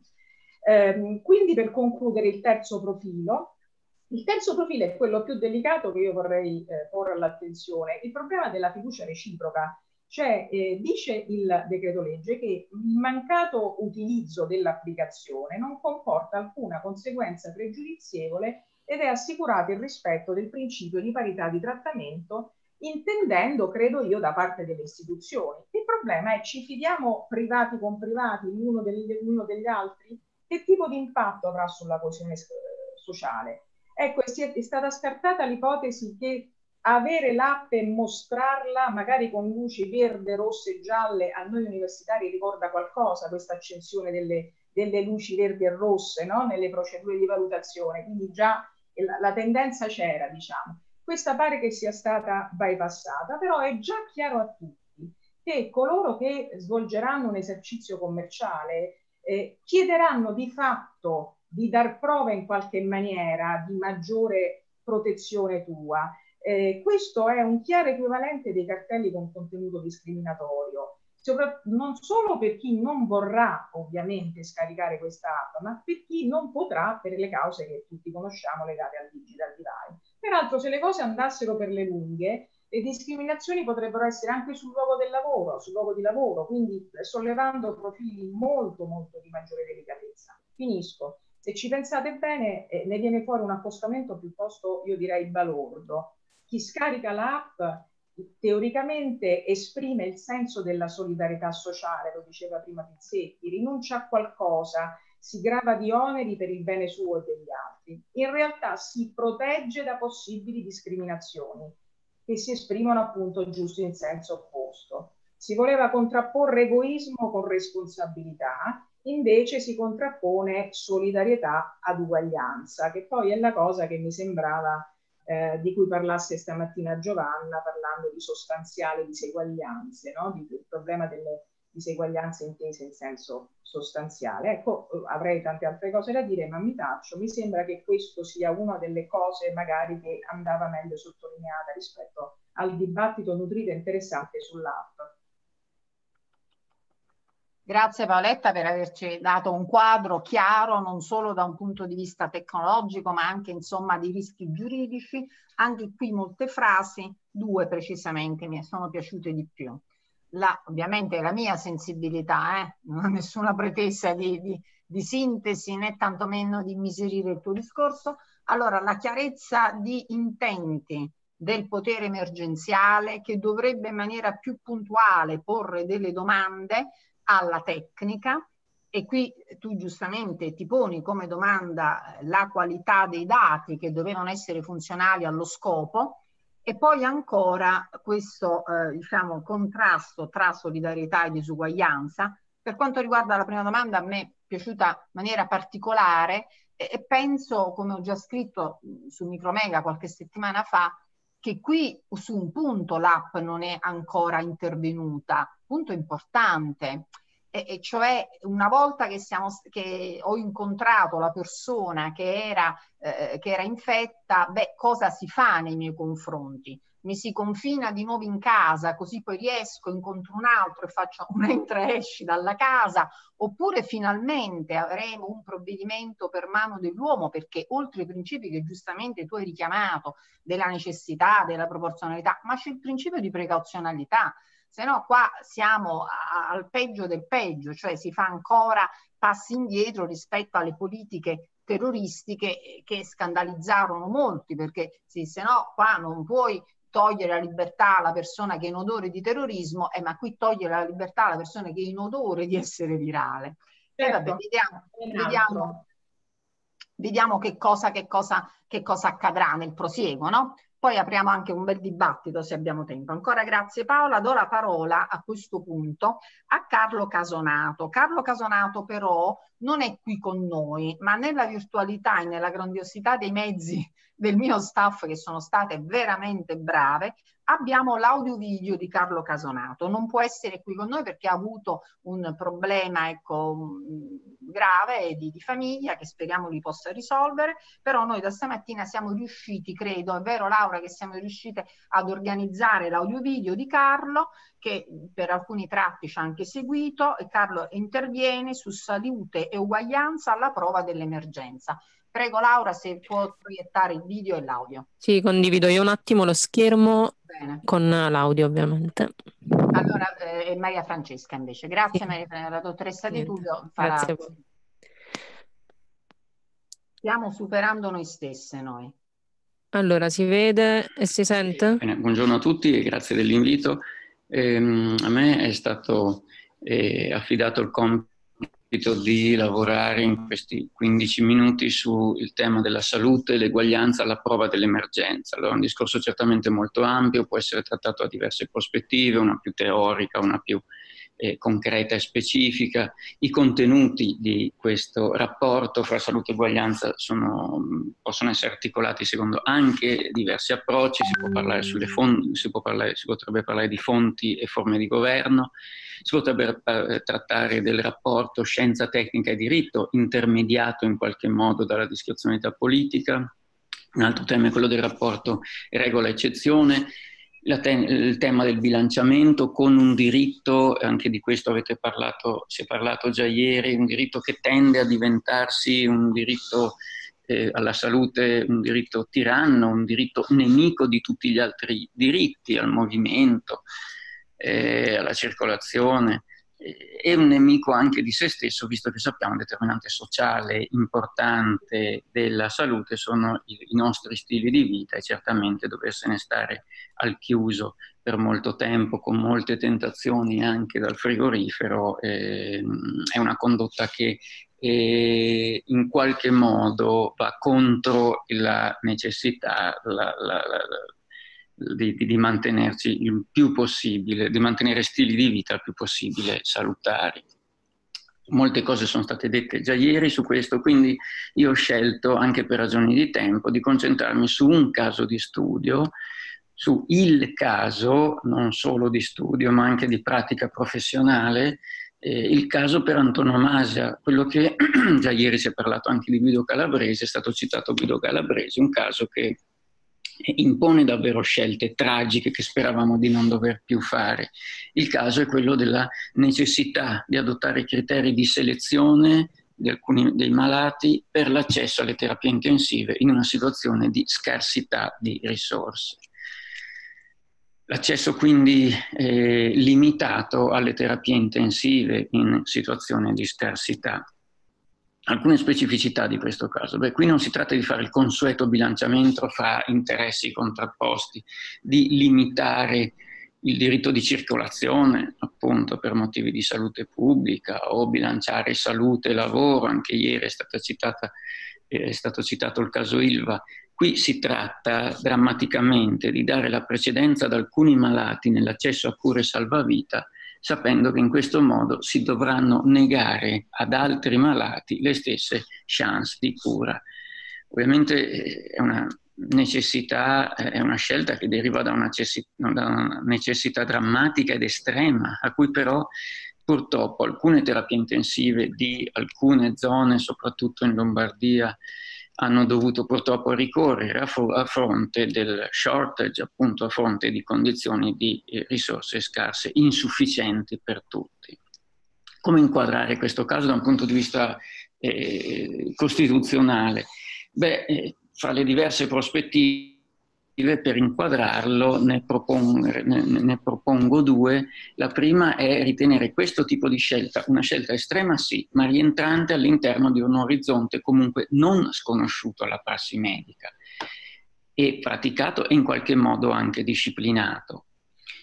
La seconda prospettiva invece è quella di ritenere a questa decisione una decisione che sovverte i principi dell'etica medica e del diritto costituzionale, scusando, ehm, comportando anche, e mi scuso per la brutalità, una scelta di vita o di morte. Allora, nella prima prospettiva si può ritenere che anche una soluzione di questo genere possa comunque essere ricompresa all'interno delle scelte che purtroppo eh, non sono poi così rare in medicina, seppure in via estrema, la logica non inedita sarebbe quella di purtroppo doversi arrendere di fronte all'impossibilità. E, questo è, una, è, appunto un'alternativa che riporta eh, all'interno di quello che alcuni considerano ormai ordinario all'interno della medicina. Eh, il riferimento può andare a Daniel Callahan che già nel 2000, il libro La medicina impossibile in Italia è uscito nel 2000, rilevava come a fronte dell'invecchiamento della popolazione e dei sempre maggiori costi dovuti all'ampliamento della domanda di salute fosse diventato impossibile curare tutti per un tempo indefinito e con i migliori trattamenti possibili. La medicina sarebbe così eh, diventata sì efficace ma anche molto costosa e paradossalmente così efficace e costosa da dover essere in qualche modo limitata.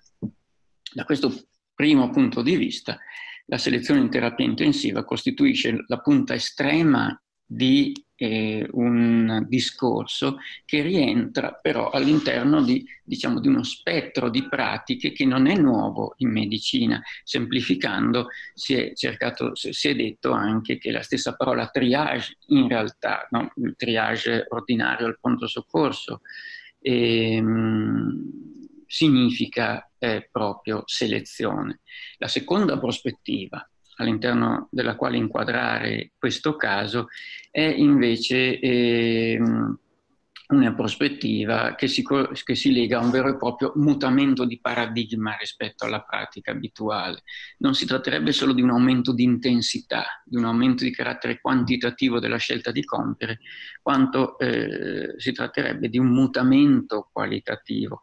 Anche qui, in, in termini molto sintetici, il triage, a cui la prima prospettiva faceva riferimento al triage al pronto soccorso, non mette a rischio in realtà diretto la vita dei malati, spalma nel tempo richieste dilazionabili.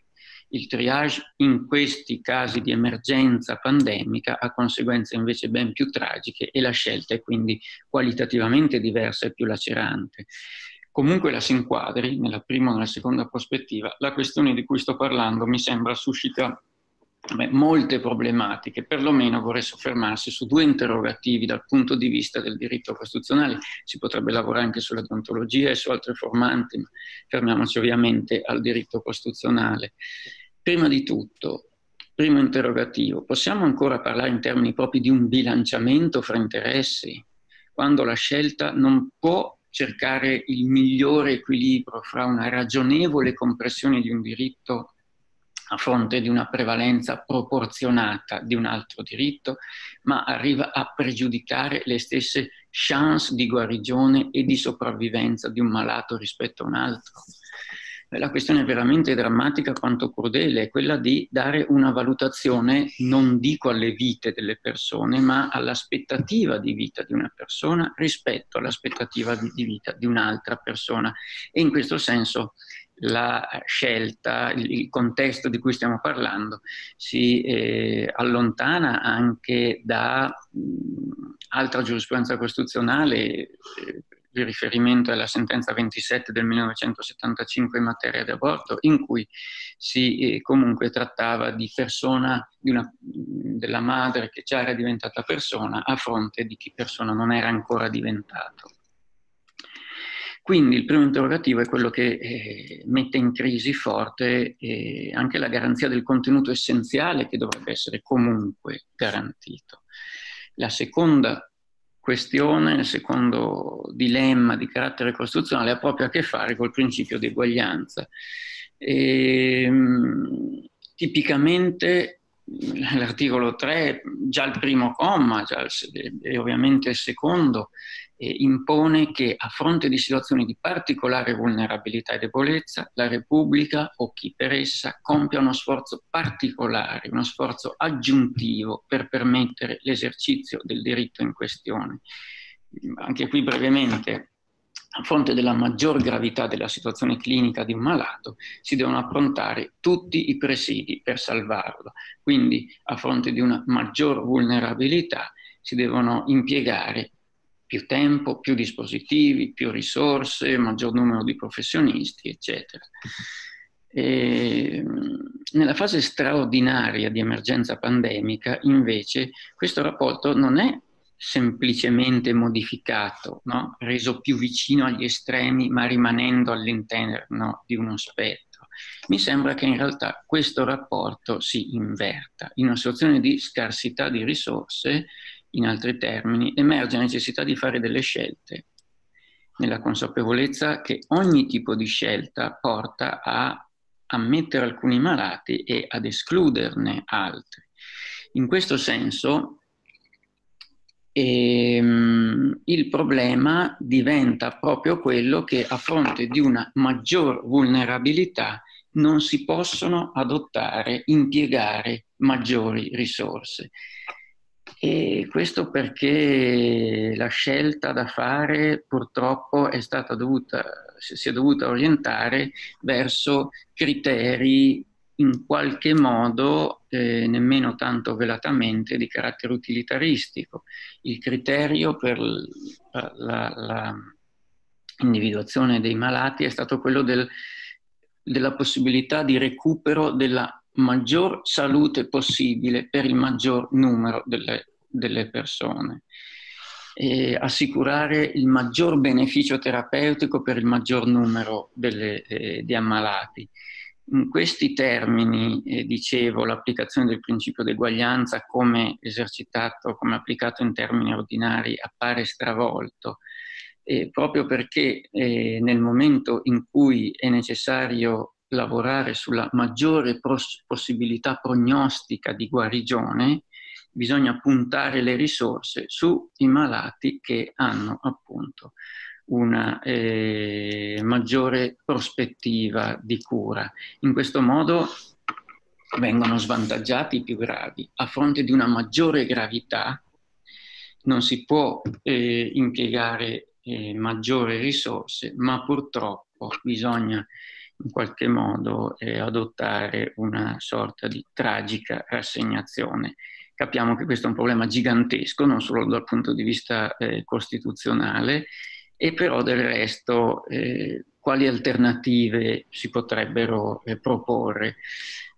Sono state proposte alcune alternative. La prima alternativa è quella di mantenere il criterio ordinariamente utilizzato, quello temporale, first come, first served. E mi sembra però che un criterio come quello temporale sia del tutto casuale, non sia sostenuto da alcun principio, da alcun motivo ragionevole. E si avvicini molto a un altro criterio che pure è stato proposto, anche se questo non in Italia, che è quello paradossalmente della selezione a caso, dell'estrazione a sorte dei malati da trattare. Ma anche questo non mi sembra una scelta eh, ragionevole, né in realtà né giuridicamente né eticamente neutra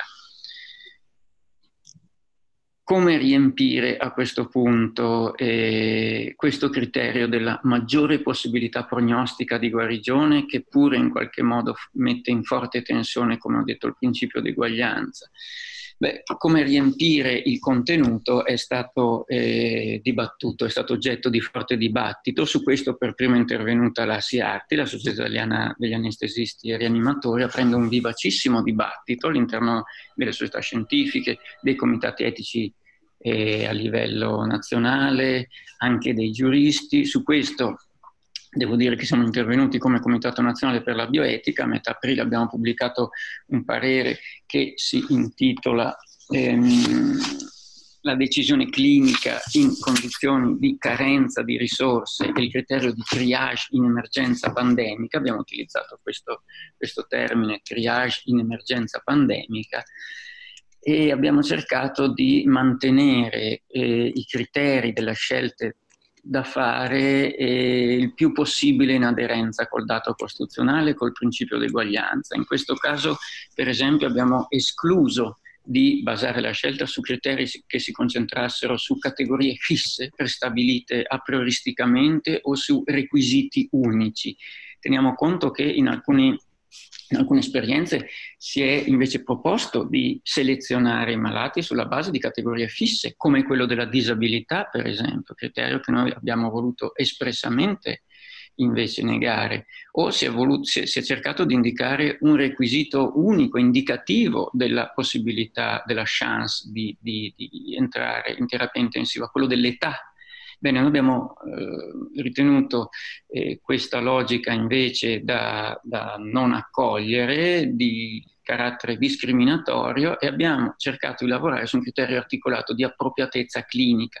In particolare abbiamo parlato eh, di un criterio in cui ogni paziente vada visto nella globalità della sua situazione clinica, tenendo in considerazione non un singolo eh, fattore o categorie appunto predeterminate, ma tenendo in considerazione tutti i necessari eh, elementi di fattori di valutazione, quindi la gravità del quadro clinico, la presenza di altre malattie, quindi la comorbilità, il quadro di terminalità breve, eccetera. L'età evidentemente fa parte di questo eh, è uno degli elementi di questo criterio, ma non è l'unico e, e va valutato in ragione della sua eh, correlazione con la valutazione clinica attuale e prognostica.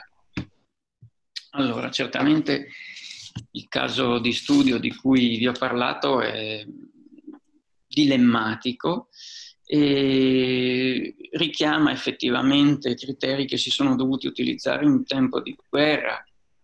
Paragone con la guerra è per tanti versi forzato e improprio, ma eh, in questo ambito, eh, anche in guerra, si sono dovuti adottare criteri di selezione dotati di questa tragicità. tragicità. Effettivamente la situazione che si è presentata è stata fra le più drammatiche che si possono presentare. non è un caso che la bioetica in quanto bioetica, in quanto disciplina, sia nata proprio a fronte di dilemmi scatenati da situazioni simili. Penso al Seattle Medical Center, siamo nel 1960, in cui si è dovuto scegliere quale fra i malati, tutti gravissimi, avesse la fortuna di essere trattato con i primi macchinari di emodialisi. Proprio da quelle scelte è nato poi una riflessione che ha portato alla nascita in termini strutturali della bioetica e purtroppo la bioetica come alle volte il biodiritto, eh, non può fare la migliore soluzione, ma deve accontentarsi, fra scegli- accontentarsi eh, a scegliere il, ma- il male minore, due mali. In ogni caso, però, questa è una situazione necessitata che però mette sotto pressione, mette in forte tensione principi costituzionali fondamentali come abbiamo visto la tutela della salute, la stessa salvaguardia della vita, il principio di eguaglianza. E è bene che eh, queste misure ehm, questi ambiti straordinari, rimangano straordinari, è necessario che le molte forzature che, a cui assistiamo in questi giorni rientrino il prima possibile. Il criterio, l'adozione di questo del criterio di cui ho parlato è uno di questi straordinari che devono eh, essere abbandonati prima possibile. Però penso che ci siano anche degli straordinari virtuosi che dovremmo invece rendere ordinari. E, ehm, a cosa faccio riferimento? Faccio riferimento al fatto che in queste settimane si sono fatti investimenti straordinari in ricerca e in assistenza. Si è trovata una straordinaria sinergia pubblico e privato da questo punto di vista. Beh, questo è uno straordinario che dovremmo rendere ordinario. Ehm, si è cercato appunto di eh, anche in qualche modo migliorare il Servizio Sanitario Nazionale attraverso una maggiore informatizzazione, una maggior condivisione dei dati, l'utilizzo dell'intelligenza artificiale, come si dice, human-centered, io direi costituzionalmente orientata. Beh, questi sono altri straordinari che sarebbe bene eh, rendere ordinari eh, appunto rendere ordinario un salto di qualità in termini, si dice in letteratura, di preparedness, di, che non significa solo essere preparati in termini generali, ma anche in termini specifici, strutturare una filiera trasparente nelle responsabilità e nei compiti, con chiarezza di tempi e con chiarezza di mezzi. Altro, un altro elemento straordinario che è bene invece ricordare, rendere ordinario, è, è, il fatto che in queste settimane ci siamo accorti delle conseguenze delle disattenzioni che abbiamo avuto nei confronti degli standard globali di igiene e sanità, della tenuta della sicurezza alimentare. E stiamo riflettendo e ripensando un, a livello globale nuovi modelli di sfruttamento animale e ambientale. Beh, queste straordinarie attenzioni sono quelle, penso, che dovremmo rendere ordinarie, perché un periodo come questo passi presto e non passi in vano.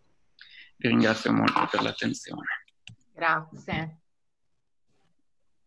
Allora, molte grazie a Carlo per la sua bella relazione e soprattutto anche auguri per questo problema, per un'immediata e eh, felice ovviamente definizione del problema.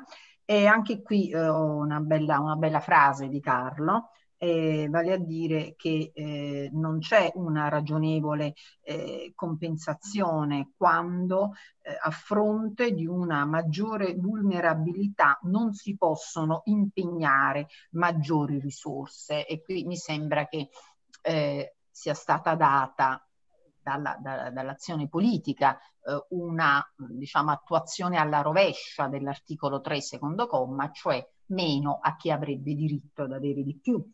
Eh, ma la vera soluzione è forse nel momento in cui torniamo alla normalità e non dobbiamo tornare alla normalità alla quale siamo stati abituati, cioè un servizio sanitario ridotto ai minimi termini, perché poi non gli si possono chiedere i salti mortali lì dove i soldi pubblici abbiamo preferito devolverli ai canali privati che si sono sciolti come neve al sole, che in questo momento aiuto non ne hanno dato. E allora, perché l'emergenza non ti consente di battere cassa, non è attività lucrativa, allora che ritorni la sanità, perché la sanità è diritto alla salute, al soggetto pubblico. Non ne faccio una questione se nazionale o locale, dico al soggetto pubblico, altrimenti poi ci troviamo anche a dover assumere queste scelte etiche e giustamente Carlo ci ha posto questa bellissima domanda morale, ma forse questa domanda etica se la deve porre il legislatore quando fa i tagli, non noi che poi li subiamo. Bene, io darei la parola ora ad Alfonso Vuolo che rifletterà, ci inviterà a riflettere sul giudice comune d'emergenza. Prego, caro Alfonso. Grazie. Si sente? Perfettamente, ti si vede. Un, un uh, ringraziamento innanzitutto non di circostanza a Giovanna De Minico e a Massimo Villone per l'iniziativa che hanno assunto e per l'amabilità che hanno dimostrato nei miei confronti nell'invitarmi ad intervenire. Penso sia doverosa un'avvertenza di carattere generale, e cioè che è oggettivamente difficile tenere il passo davanti all'alluvione di DPCM, ordinanze regionali, controordinanze sindacali, circolari, FAC e così via. Mi è capitato anche di vederle collezionate dalla laboriosa protezione civile in documenti ai quali è stata data la denominazione di testo unico. Con questa consapevolezza mi soffermerò su quattro punti a mio avviso essenziali. Il primo, la Corte finora non è intervenuta. Non lo ha potuto fare nella prima fase di contrasto all'epidemia perché questa è stata contrassegnata da un'esplosione di atti nella forma non normativi che, come ovvio, esulano dalla giurisdizione di legittimità costituzionale. Non lo ha fatto anche nella seconda fase, quando alle proteiformi ordinanze statali e regionali è stata data copertura con decreto legge e poi con legge di conversione. Per la semplice ragione che non sono state proposte pregiudiziali di costituzionalità. Non vi è stato il tempo di farlo probabilmente in via incidentale, non lo è stato fatto nemmeno in via principale, laddove forse era lecito immaginarsi un intervento tempestivo della Corte se avesse fatto uso dei poteri cautelari che le sono stati riconosciuti dalla legge 131 del 2003. In verità, eh, tra Stato e Regioni pare esservi stato un sostanziale agreement di eh, desistenza dall'intraprendere la via giurisdizionale pur se l'interlocuzione istituzionale è stata spesso aspra e lo è stata specie lungo la faglia politica governo nazionale giallo-verde da una parte, regioni con guida di centrodestra dall'altra. Rispetto a questo quadro si presentano due sole eccezioni. La prima, recente, costituita dall'annuncio del ministro degli affari regionali Boccia circa l'impugnazione di un provvedimento della regione Calabria con la quale viene accelerata l'apertura di bar e ristoranti. La seconda invece risalente agli albori del contrasto all'epidemia. Mi riferisco ad un'ordinanza della regione Marche di febbraio con la quale venivano anticipate misure che sarebbero poi state riprese a distanza di qualche settimana a livello nazionale. Chiusura delle scuole, di musei, biblioteche, sospensione delle attività e delle manifestazioni pubbliche. La Presidenza del Consiglio impugna l'ordinanza dinanzi al TAR Marche e chiede al Presidente una misura anticipatoria che viene accordata sulla base della motivazione che misure più restrittive non avrebbero avuto ragione di essere in quella regione attesa l'inesistenza di focolai. Una sola osservazione al riguardo. Sarebbe interessante chiedersi la ragione di questa strategia difensiva. Perché è stato adito il giudice amministrativo e non è stato proposto un conflitto intersoggettivo dinanzi alla Corte Costituzionale? La questione potrebbe essere facilmente liquidata ritenendo che non venissero in rilievo quote di competenza costituzionale.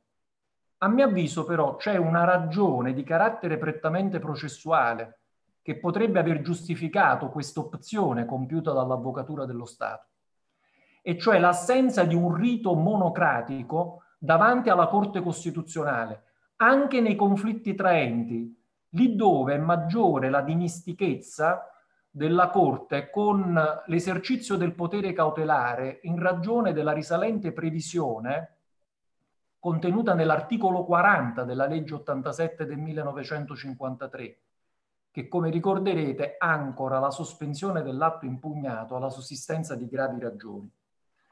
Forse qui potrebbe aprirsi un nuovo scenario alla luce del decreto del 20 aprile 2020 adottato dalla Presidente della Corte Costituzionale Marta Cartabbia, al paragrafo 1, lettera E, si legge che le modalità dello svolgimento delle udienze delle Camere di Consiglio per il periodo dell'emergenza non si applicano ad eventuali questioni di eccezionale gravità e urgenza per le quali la Presidente, sentito il collegio, ravvisi la necessità di trattazione immediata.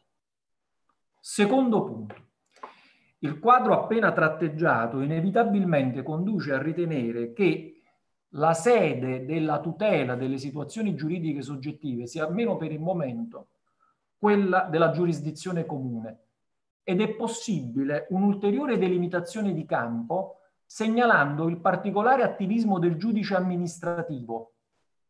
Fatti salvi gli aspetti penali, invece, il ruolo del giudice eh, civile sembra essere in un cono d'ombra non si rinvengono filoni particolarmente significativi e tuttavia anche qui potrebbe esserci un'inversione di tendenza attesa la depenalizzazione delle violazioni alle ordinanze restrittive disposta dal decreto legge 19 che ha stabilito l'irrogazione di sanzioni pecuniarie impugnabili dinanzi al giudice ordinario.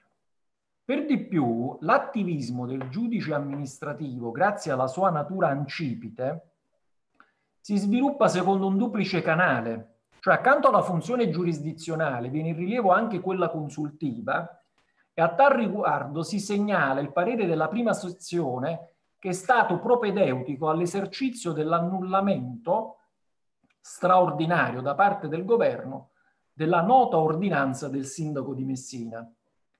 Il protagonismo dei giudici amministrativi non ha incontrato ostacoli fino ad ora, anche perché non è stata messa in discussione la giurisdizione amministrativa. Non è un dato scontato di poco conto, perché se consideriamo le limitazioni ai diritti fondamentali, anzi la generale sospensione di alcuni diritti fondamentali, Evidentemente si sarebbe potuto ragionare anche di diritti soggettivi insensibili all'esercizio di un potere pubblico, ma così non è stato e mi pare confermata un'intuizione secondo la quale i diritti inviolabili degradano di interessi legittimi dinanzi al radicamento di un potere pubblico al quale si chiede un'attività di bilanciamento, di contemperamento tra il bene della vita ingaggiato a un diritto costituzionale ed altri interessi pubblici e privati meritevoli di protezione. E questo è accaduto anche nella temperie storica che stiamo vivendo. Per cui mi sembra sempre valido l'insegnamento di Massimo Luciani, secondo il quale il potere ha bisogno del diritto per legittimarsi, ma i diritti hanno bisogno del potere per affermarsi.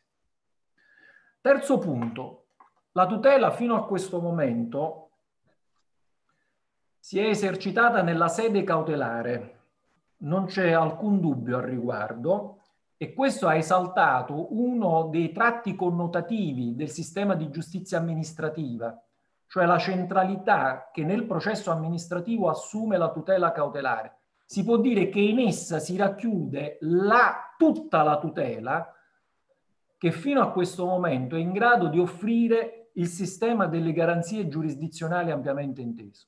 Anzi, si può aggiungere che assume un decisivo rilievo in questo quadro la tutela anticipatoria, cioè quella che si chiede al presidente del tribunale in attesa della trattazione dell'istanza cautelare davanti al collegio. Questo perché molti provvedimenti contestati hanno un'efficacia ridottissima nel tempo, a volte a pochi giorni, per cui una volta decisa ehm, con decreto monocratico l'istanza cautelare davanti al collegio, specie nel caso in cui vi sia stato il rigetto del decreto, la trattazione dell'istanza cautelare perde di utilità e da una rassegna che ho compiuto sostanzialmente si eh, a conferma di questo con molte cancellazioni della causa dal ruolo. In questo ha avuto un ruolo decisivo l'articolo 84 del decreto legge 18 che rispetto alle istanze cautelari ordinarie ha imposto uno svolgimento appunto bifasico, prima davanti al Presidente e poi davanti al collegio, per giustificare lo spostamento in avanti nel tempo della trattazione collegiale della domanda cautelare, questo per evidenti ragioni di contenimento dell'emergenza epidemiologica. Non vi è dubbio che nella valutazione degli opposti interessi sia prevalso quello man del mantenimento degli effetti del provvedimento impugnato. In effetti le ordinanze hanno retto nella loro portata essenzialmente normativa, volta alla restrizione della libertà dei singoli. Per di più, nonostante la sostanziale assenza di contraddittorio che caratterizza la tutela anticipatoria, in numerose circostanze è stata ritenuta prevalente la funzione preventiva e precauzionale, ne faceva cenno prima Giovanna, sottesa alle misure disposte, volte, è stato affermato testualmente, a prevenire un danno infinitamente più grande di quello avanzato nell'occasione dai ricorrenti di tipo economico, essendo state le loro attività imprenditoriali inibite. Diversamente, almeno in parte, è accaduto per le singole applicazioni delle ordinanze, laddove qualche spiraglio per i ricorrenti si è aperto in ragione della specificità del caso. Quarto e ultimo punto. È dato assistere anche ad un adattamento degli istituti processuali, cioè avvenuto in via normativa con la moltiplicazione dei riti introdotti dai decreti legge che si sono succeduti nel corso del tempo. Addirittura uno specialissimo limitato al periodo 6-15 aprile, molto efficacemente definito rito pasquale. Ma vi è stata anche, vi è stata anche una trasfigurazione di istituti processuali in via pretoria, emblematico tra gli altri il caso dell'appellabilità dei decreti cautelari monocratici. Ora l'articolo 56 del codice del processo amministrativo prevede che il ricorrente in caso di estrema gravità e urgenza possa chiedere misure anticipatorie al Presidente, prima che poi la domanda cautelare sia esaminata dal collegio. Ed il secondo comma di questo articolo stabilisce che il Presidente decide con decreto non appellabile, espressamente definito non appellabile, non impugnabile. E questa impostazione ha avuto conferma anche da ultimo in via normativa, perché l'articolo 84 del decreto legge 18 nel suo schema iniziale prevedeva l'impugnabilità dei decreti cautelari monocratici ex legge, cioè a prescindere dalla domanda di parte. Ma questa parte è stata stralciata nella versione definitiva, per cui la voluntas leggi mi sembra chiarissima. Non possono essere impugnati questi decreti. E pur tuttavia, alcune sezioni del Consiglio di Stato hanno deciso della ammissibilità di questi decreti in limitatissimi casi, ovvero quando è in discussione la irreversibile perdita di un bene della vita che corrisponde a un diritto costituzionalmente garantito. Ora molto si potrebbe discutere sul diritto costituzionalmente garantito, soprattutto in ragione secondo la lettura prevalsa, della clausola aperta insita nell'articolo 2 della Carta, con la conseguenza che farebbero parte del tessuto costituzionale anche i nuovi diritti e quindi con l'ulteriore conseguenza di un raggio applicativo estremamente ampio dell'istituto processuale. Ma in disparte questi non trascurabili aspetti, è forse il caso di appuntare l'attenzione sul fatto che l'istituto è di derivazione prettamente pretoria, il che non sorprende data l'inarrestabile ascesa del diritto anche processuale a formazione giurisprudenziale. Ma quello che sorprende è che questa creatività del giudice si realizzi contra legem, dato il, l'inequivocabile disposto dell'articolo prima richiamato. Ora, se la lettera della disposizione mostra lacune nella tutela dei diritti costituzionali, il diritto costituzionale pretenderebbe che quel giudice sollevi una questione di legittimità affinché ai sensi dell'articolo 134 la Corte sia nella condizione di poter esercitare il sindacato che le compete. Per cui si delinea una singolare vicenda, e cioè ai alle limitazioni imposte sul piano sostanziale dai decisori politici, a volte preter legem, si aggiungono sul piano processuale i riti che i giudici escogitano a voler essere generosi preter legem. Non escluderei che questa apertura alla impugnazione dei decreti monocratici sia funzionale a che il Consiglio di Stato, o meglio, i presidenti di sezione del Consiglio di Stato conservino almeno il controllo di quelle decisioni cautelari rese sui fondamentali atti di governo dell'emergenza, evitando di confinare il relativo sindacato al presidente del tribunale amministrativo territorialmente competente o addirittura al magistrato da questi delegato. Del resto, se ci si riflette, nell'ambito della giustizia amministrativa il Consiglio di Stato rischia di essere relegato in una posizione complementare, anche in considerazione della circostanza che di fatto non è coinvolto nel processo di comando inteso al contrasto della pandemia, se si considera che tutti gli atti finora emanati sono sottratti al suo parere preventivo. Vi ringrazio dell'attenzione. Tante grazie, tante grazie caro Alfonso siamo noi onorati della tua presenza, non l'inverso, non, non invertiamo i termini. E, ehm, faccio riferimento al tuo esordio. E, ehm, e allora qui eh, giustamente tu ti sei posto tante domande, mi sono permessa anche qua di, di scrivere tra le tante cose due, eh, perché l'avvocatura dello Stato ha preferito adire il giudice amministrativo piuttosto che tentare la via del conflitto intersoggettivo dinanzi alla Corte Costituzionale. Peraltro tu dici reso forse più agevole dai nuovi scenari aperti dal Presidente. E vabbè, eh, forse la risposta l'hai anche già data poi nel corso del tuo intervento.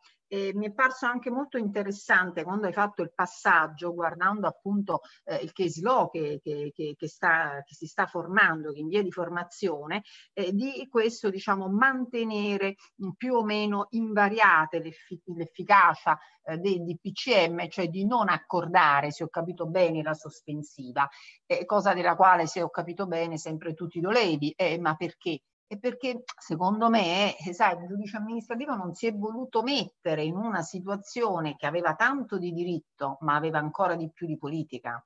È per questo che ieri alcuni di noi, eh, tra questi me, io eh, non eravamo favorevoli a decisioni così politiche assunte nella forma del DPCM, le quali alla fine hanno trovato una serie di vie di fuga. La via di fuga della giustizia amministrativa perché hanno alzato le mani, ma la via di fuga della responsabilità politica e di tutto quello che il controllo politico che sarebbe avuto invece su un decreto legge. Insomma, diciamo degli atti che hanno trovato una zona di immunità dal diritto, ma poi su questo voglio sentire eh, ovviamente Antonio Ruggeri. A questo punto mi sembra che siamo quasi in tempo. Darei la parola all'amica e collega Fulvia Abbondante che invece eh, ha riflettuto e ci darà insomma l'esito del suo pensiero su stato di diritto e big data. Prego Fulvia. Aspetta. Devi aprire il microfono. Ok, perfetto. Giovanna, anch'io ringrazio te, il professore Dillone, ovviamente senza alcuna retorica per l'opportunità che mi date. E in realtà la mia riflessione si è proprio appuntata sulle sfide che i big data danno allo Stato di diritto. Però vorrei partire come il professore Simoncini un po' prima, cioè da un'osservazione proprio empirica, il fatto che noi veniamo, viviamo in un tempo di emergenza. Emergenze terroristiche, emergenze ambientali, emergenze pandemiche. E se tutte queste emergenze hanno più o meno tratti comuni, no? Da un punto di vista appunto del diritto, la necessità di garantire la sicurezza, ma anche da un punto di vista individuale, no? la paura collettiva anche, quella pandemica ha una caratteristica tutta sua dal mio punto di vista.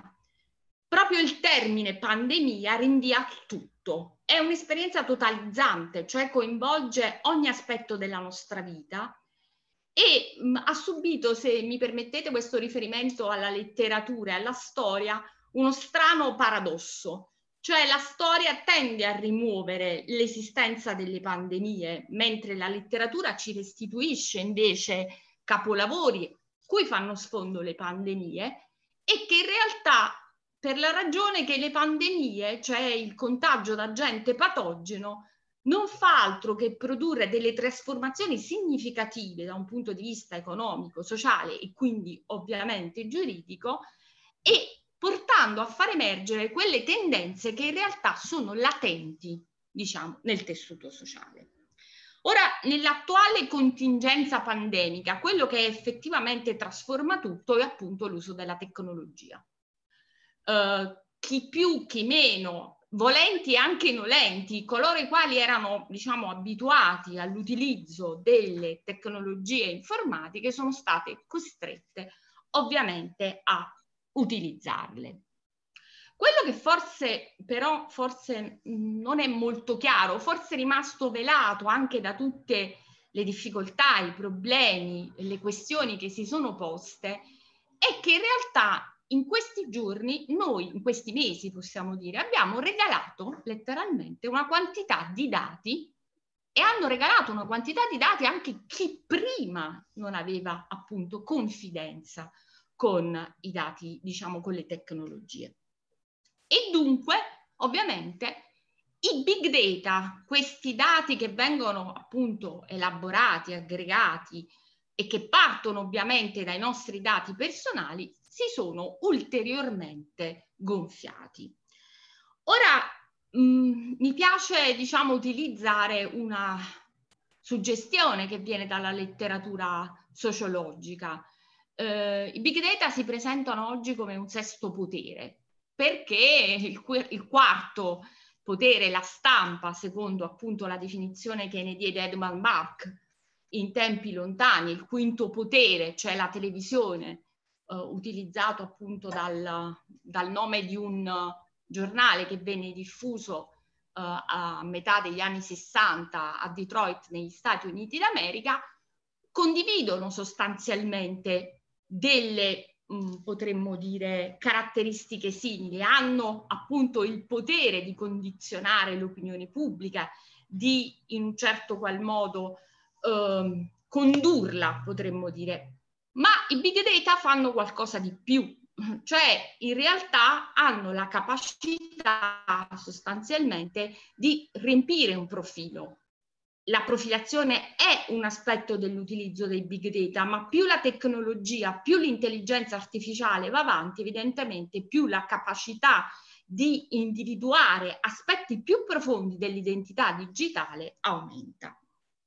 Quindi che cosa, eh, diciamo, perché un sesto potere? Perché ovviamente è un potere che viene utilizzato dai governi per la garanzia appunto della sicurezza, ma anche come facevi riferimento tu, ma anche altri eh, che mi hanno preceduto, eh, eh vengono utilizzati dalle grandi eh, big companies, gli over the top come si chiamano oggi, per ovviamente eh, condizionare quello che può essere uh, l'orientamento, diciamo, del, del, del cittadino. E qui quindi, secondo me, la prima sfida, la prima sfida che pone ovviamente a quella che è la libertà dell'elettore di scegliere, ma non soltanto da questo punto di vista io credo che ci sia la sfida, la sfida c'è anche rispetto oggi al potere di condizionare le decisioni politiche le decisioni dei governi, ma anche sostanzialmente dei parlamenti che alla fine potranno prendere, appunto, faranno scelte che saranno determinate da quelli che sono gli esiti no? di queste uh, soluzioni, di queste predizioni che danno appunto il big data. C'è un altro aspetto che secondo me è importante e da sottolineare e che sfida ovviamente l'utilizzo del big data rispetto allo Stato di diritto. Ed è quello a cui tu facevi riferimento tu, il principio di uguaglianza. E a questo punto mh, farei appunto alcuni, io non ho una visione così ottimistica come quella della, di Paola Marsocci rispetto a che ci dobbiamo fidare. Io non mi fido affatto, non, mi fido, eh sì, non mi fido affatto perché lo facevano appunto rilevare perfettamente uh, Oreste Pollicino riguardo alla necessità no, dell'utilizzo di questa app. Lo faceva notare opportunamente Giorgio Ventre, l'accordo sull'utilizzo del Bluetooth, ma tutto sommato che ci garantisce che quello che ci vengono a raccontare dall'altra parte, diciamo, dell'oceano sia vero. Terzo punto, e su questo forse vorrei completare quello che diceva Paola, il problema non è tanto l'app in sé, che appunto è stato, sono stati effettuati tutti gli accorgimenti eh, sulla efficacia, il problema della copertura. C'è uno step ulteriore che ovviamente qui non è stato considerato, è quello a cui facevi, ci facevi riferimento tu. Io sono stata a contatto con un contagiato, entro e esco. No, c'era lo step ovviamente del controllo con il tampone, che ovviamente noi per le ragioni che sono state ampiamente dette non abbiamo o non possiamo almeno al momento effettuare. Ora mh, c'è l'app di tracciamento però, quello su cui appunto si è discusso molto negli ultimi tempi, è a mio avviso soltanto la punta di un iceberg. Perché il problema del trattamento dei dati sanitari, che in questo momento di confusione rappresentano evidentemente un grosso, diciamo, appetito per tutti quanti, è in realtà un problema molto più ampio ed è un problema che si è posto proprio di recente Uh, se uh, diciamo uh, consideriamo il fatto che in data 9 aprile è giunta praticamente da parte della diciamo missione degli Stati Uniti d'America alla al board dei, diciamo, dei regolatori dei dati personali una richiesta ovviamente di poter utilizzare i dati appunto che sono stati raccolti all'interno dei eh, singoli stati membri a fine di individuare la possibilità di ricerca e predisposizione di un vaccino. La risposta che è contenuta appunto nelle linee guida del 3 marzo del 2020 uh, dei regolatori appunto uh, del, dal board dei regolatori europei è stata quella appunto di consentire la, uh, tra, il trasferimento di questi dati anche in assenza di una decisione di adeguatezza e di garanzie adeguate Uh, sia da parte delle autorità pubbliche sia da parte delle autorità private in deroga, a quanto, eh, in deroga sostanzialmente e quindi in base a quanto previsto dall'articolo 49 del GDPR, purché evidentemente si tratti di misure temporanee. Ora già la scienza medica, è stato detto, non dà certezze, una, nel caso specifico il virus è qualcosa che non conosciamo, i tempi che saranno necessari per sviluppare questo vaccino non possono essere appunto predeterminati e quindi ci sarà questo trasferimento di dati ai, diciamo, negli Stati Uniti con tutti i rischi annessi e connessi. Io quindi queste cose le metterei insieme perché evidentemente si tratta del trasferimento di dati sensibili senza alcuna forma di garanzia. E allora, se facciamo sostanzialmente appunto l'incrocio di questi dati, quali sono le conseguenze? Allora, possibilità anonimizzazione che poi consente la reidentificazione, Uh, dati sensibili che vengono massicciamente trasferiti in uno ad altri dati che sono stati caricati in questi giorni dalle piattaforme. E allora, sulle piattaforme, e allora a questo punto il, quello che ne verrà fuori è probabilmente qualcosa di inquietante, una sorta di, diciamo, possibilità di preveni- predire, prevenire quelle che possono essere le caratteristiche appunto della salute di un soggetto. E ci rendiamo conto se tutta questa mole di dati, a noi forse interessa un po' meno, ma io poi a bocce ferme voglio anche capire che cosa succederà della sanità italiana, se va in mano sostanzialmente a grosse imprese di assicurazione. Significherà che sulla base di questa medicina predittiva quello che avrà condizioni ovviamente di salute sulla base di quello che ha calcolato l'algoritmo, molto più, eh, diciamo, ipoteticamente non vantaggioso e non troverà la copertura assicurativa. Ma ancora, e mi ricollego al bellissimo intervento che ha fatto il professore Casonato, è quello che diceva ieri il professore Villone, ma se sostanzialmente noi ci dobbiamo aspettare che esista una decisione politica che sarà orientata dall'intelligenza artificiale. Chi ci dice che le scelte tragiche, cui purtroppo siamo oggi, abbiamo assistito, diciamo, in questi tempi, non siano sostanzialmente delegate. Se c'è il medico sulla base di un algoritmo verifica che la, quella terapia, quella cura, quella particolare cosa non sia sostanzialmente conveniente o comunque non produca effetti. Vero che l'articolo 22 del GDPR dice sempre che le decisioni automatizzate devono ovviamente essere anche accompagnate dalla valutazione umana, ma è evidente, lo diceva benissimo il professore eh, Simoncini, alla fine è rassicurante affidarsi alle decisioni di una macchina che immaginiamo essere affidabile al di là del fatto che è deresponsabilizzante. Alla fine, insomma, eh, queste scelte portano sempre delle, dei carichi umani che talvolta si preferisce non assumersi. E allora, quali potrebbero essere le soluzioni?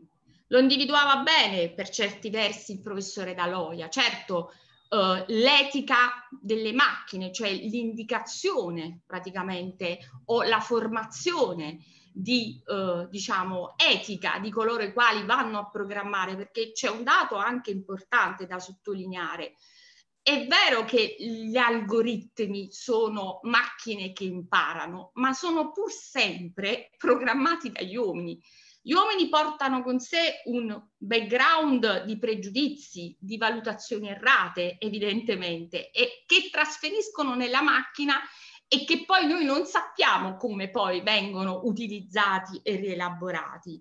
Del resto l'indicazione su praticamente il criterio etico, diciamo, è anche sottolineato dagli stessi studiosi delle scienze dure. Non si può, eh, diciamo, programmare, per così dire, un algoritmo se non si ha una conoscenza approfondita anche delle scienze umane. E quindi sicuramente questo può essere una prospettiva, ma è una prospettiva ovviamente più ampia. Da un punto di vista giuridico, certo, la soluzione che proponevi tu all'inizio, cioè quella della conoscibilità dell'algoritmo, è sicuramente una delle possibili strade, soprattutto quando si va a incidere su diritti fondamentali, perché è evidente che il bene o comunque l'attività lucrativa non può sicuramente incidere su un diritto fondamentale protetto in Costituzione. Però io anche su questo, sulla selettività, cioè sulla scelta di parti, diciamo, dell'algoritmo da dover rendere trasparente, beh, forse com- dovremmo cominciare anche a ragionare sulla possibilità di una totale, anche se so che il professore Villone è contrario perché giustamente dice che ci sono alcuni codici, alcuni algoritmi che hanno la, diciamo, eh, particolarità di garantire la sicurezza. E però quando andiamo a incidere su diritti fondamentali, perché dobbiamo tenere il codice fonte nascosto? È vero che questo pone poi altri problemi, cioè i giuristi dovrebbero essere poi sempre accompagnati dagli ingegneri che dovrebbero, diciamo, tradurci in termini comprensibile quello che è sostanzialmente il linguaggio tecnico. E io concludo perché alla fine questo quadro che può essere sembrato appunto una lettura distopica eh, o comunque una lettura pessimistica, in realtà non lo è, perché io credo che esistono il problema, come appunto è stato più volte detto, è che la scienza non è neutra, noi è come la indirizziamo. Probabilmente sono i tipi di dati che utilizziamo che forse non aiutano o comunque che non sono, per così dire, utilizzati ehm, per garantire il diritto alla salute. Faccio un altro riferimento. Qualcuno ieri, credo il professore Caravita, diceva che in realtà pan la pandemia era stata annunciata e poteva essere prevista. Esistono documenti a livello mondiale no? che sottolineano il fatto che le pandemie saranno cicliche. Bene, perché non utilizzare il big data ai fini appunto di garantire una prevenzione effettiva di quello che è le pandemie future. Punto due, i big data sono necessari o fondamentali per ovviamente la, il diritto alla salute, ma in un altro senso, cioè per garantire un'organizzazione, una migliore allocazione delle risorse, cioè il cosiddetto health management, che potrebbe, se non altro, evitare di trovarci in futuro appunto dinanzi a situazioni gravi. Grazie. Applausi reali, non virtuali, come diceva ieri Sandro. Allora, grazie ovviamente anche alla nostra Fulvietta. E qui è chiara, diciamo, anche sua, la sua provenienza eh, da, un, da, un, maestro, eh, vale a dire, dal maestro, vale a dire da eh, Salvatore Prisco, quando ci ha fatto tutto quello piacevolissimo, gradevolissimo, diciamo, riferimento a un background letterato e di letteratura molto apprezzato, eh, altri forse anche molto più di me. E, ehm, e poi pre ho preso qualche spunto ovviamente da, dal tuo dire, eh, certo sei preoccupata giustamente per se i dati dovessero finire nelle mani delle compagnie assicurative, ma eh, soprattutto ti, dici, ti poni la domanda, eh, ma queste scelte tragiche ehm, che finiscono per essere fatte dal decisore politico sulla base di un algoritmo e quindi noi destinatari eh, che, che fine facciamo? Eh, basta solo il diritto a conoscere l'algoritmo, sai bene come la penso, io in primo luogo dico che deve essere una conoscenza selettiva, non tutto e tutti, ma una cosa è la conoscenza del destinatario dell'atto e ancora maggiore dovrà essere la conoscenza del giudice, altrimenti se non accede al codice sorgente non ha modo di ripercorrere a ritroso la logica dell'algoritmo e deve avere modo invece, supportato tecnicamente, di rifare quel ragionamento così come non è sufficiente il diritto alla conoscenza, ancorché selettivo, come dico io, ma la partecipazione nel procedimento qui cambia dai canoni, diciamo, classici eh, della partecipazione al procedimento amministrativo, qui è, è una partecipazione a tre, secondo insomma quell'immagine che io do di una privacy a forma di triangolo, e cioè eh, deve il soggetto interloquire con chi eh, sta mettendo in moto l'algoritmo per evitare prima che esso arrivi a conseguenze discriminatorie. Ma di questo io e te eh, parliamo spesso anche a Napoli e poi ho approfondito in questo scritto per la Berkeley. A questo punto, ringraziando tutti, io darei la parola ai nostri interventi programmati, quasi tutti al femminile, ecco che non si dica quindi che nei convegni io non rispetto l'equilibrio di genere, qui ci sono tutte graziose, studiose, eccezione fatta per Alessandro Picarone che non è affatto grazioso, ma è solo studioso. Allora, la parola quindi 5 minuti a testa a Maria Francesca De Tullio. Prego Maria Francesca. Allora, buongiorno, grazie a tutti e a tutte per gli organizzatori e le relatrici. Allora, io ehm, ho ascoltato anche con molta attenzione la giornata di ieri e eh, visto che insomma su questo non c'è bisogno di dilungarmi, è stato ampiamente descritto come questo mh, contesto emergenziale abbia causato una limitazione delle libertà, naturalmente, ma tante volte, diciamo, la professoressa Lara Trucco ci ha descritto questa immagine plastica di questo Presidente del Consiglio solo nelle decisioni, ma in generale si è molto discusso della questione dell'intervento del Parlamento che uh, è stato, diciamo, uh, di dubbia legalità costituzionale, quantomeno. Ma eh, io volevo soffermarmi su un altro profilo dell'emergenza, che è la sua caratteristica, che puntualmente si è eh, ripresentata in questo caso, di invertire il rapporto regola-eccezione rispetto ai diritti.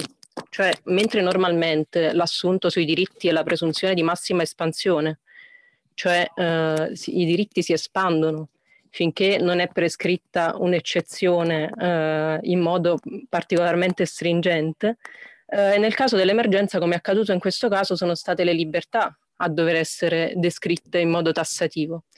E questo io uh, ho appena concluso una monografia su questo, ho studiato uh, i movimenti di solidarietà che si muovono in modo informale, ovviamente nei, uh, in quello che la legge non è stata ancora in grado di cogliere. E ho dovuto constatare che in questa fase di emergenza proprio questi movimenti si sono trovati improvvisamente nell'illegalità. E sono, si tratta proprio di quei movimenti che tanto spesso si sono dovuti surrogare al ruolo dello Stato di solidarietà soprattutto per quanto riguarda tutte quelle figure di estrema marginalità che non sono state comprese negli aiuti al comune, molto spesso perché dai, negli aiuti dai comuni, perché molto spesso non sono state proprio censite. E quindi mi riferisco soprattutto a quelle esperienze di orti urbani, orti sociali, ma anche gruppi di acquisto solidali o spazi sociali autogestiti, cioè esperienze che si collocano in un certo senso in un grigio della legalità, eh, ma che non hanno nessuna dannosità sociale e che improvvisamente appunto si sono trovate a essere illegali e ostacolate nella propria attività. Quindi eh, si è trovato diciamo anche un, è emerso anche al pettine il nodo, oltre che di questo imperfetto riconoscimento, della mancanza di un sostegno rispetto alle organizzazioni che avrebbero, eh, bisogno, avrebbero avuto bisogno in tempi di normalità e a maggior ragione in tempi di emergenza anche di un sostegno pubblico in termini di know-how, di piattaforme organizzativo e eh, invece si sono trovate chiaramente sovraccariche. Questo si è verificato anche in rete, se si pensa ai programmi open source. Appena eh, è scoppiata la pandemia e le, le conseguenti misure di contenimento, ci siamo trovati tutti a cercare delle piattaforme di video chat che non fossero a pagamento e che comunque dessero la stessa sicurezza, cioè dessero sicurezza in materia di trattamento dati e privacy e eh, ci sono state molte piattaforme open che sarebbero servite allo scopo, ma si sono trovate improvvisamente sovraffollate e eh, non, molto spesso in carenza di server che potessero ospitare queste piattaforme open source che come tali appunto per definizione sono aperte a tutti e a tutte, quindi avrebbero potuto consentire effettivamente un servizio, uh, in, in, alcuni casi anche un servizio pubblico in modo economico e, e libero appunto. Um, però molti server sono trovati sovraccarichi, l'amministrazione non si è dotata, non esistono de- dei dispositivi di server di comunità, quindi messi a disposizione delle comunità, e uh, né l'amministrazione li ha predisposti. Quindi in molti casi ci si è dovuti rivolgere a quello che già c'era, cioè piattaforme proprietarie o private. Quindi uh, io spero che uh, diciamo uno spunto uh, per l'emergenza e quindi per la ripartenza dopo l'emergenza sia proprio quella di immaginare un nuovo quadro che consenta ovviamente innanzitutto di eh, dare un riconoscimento a questo tipo di realtà che nascono informali, ma eh, soprattutto anche in un'ottica di uguaglianza sostanziale, un sostegno materiale eh, che non sia limitato al semplice riconoscimento formale, talvolta oneroso da ottenere come quello dell'attuale codice del terzo settore, ma eh, sia improntato a un sistema, a un criterio sostanzialistico e quindi a una maggiore accessibilità. Eh, concludo con, di nuovo ringraziando eh, per l'attenzione e soprattutto per l'invito. Grazie. Grazie, grazie molte eh, Maria Fran eh, dottoressa De Tullio. Eh, ho apprezzato um, sia il riferimento che lei ha fatto uh, alla sua monografia recentemente chiusa, che certamente è un grande impegno, eh, il primo grande impegno che uno studioso fa e quindi ecco complimenti per questo lavoro che leggeremo tutti attentamente. E poi ecco il suo immancabile riferimento al 118. Vedo che ora però chiede anche che questo 118 eh, sia diciamo di più, eh, 118 della Costituzione sia di più diciamo utilizzato con, un, eh, con delle linee guida, delle linee preventive, un disegno preventivo da parte del soggetto. Questo mi rallegra. Darei la parola alla dottoressa Laura Grimaldi. Prego Laura. Buongiorno a tutti, mi unisco anch'io ai ringraziamenti doverosi. Innanzitutto ringrazio la professoressa De Minico, la mia mentore, il professore Massimo Millone, innanzitutto per la bellissima idea del webinar e anche per l'occasione offertami di intervenire.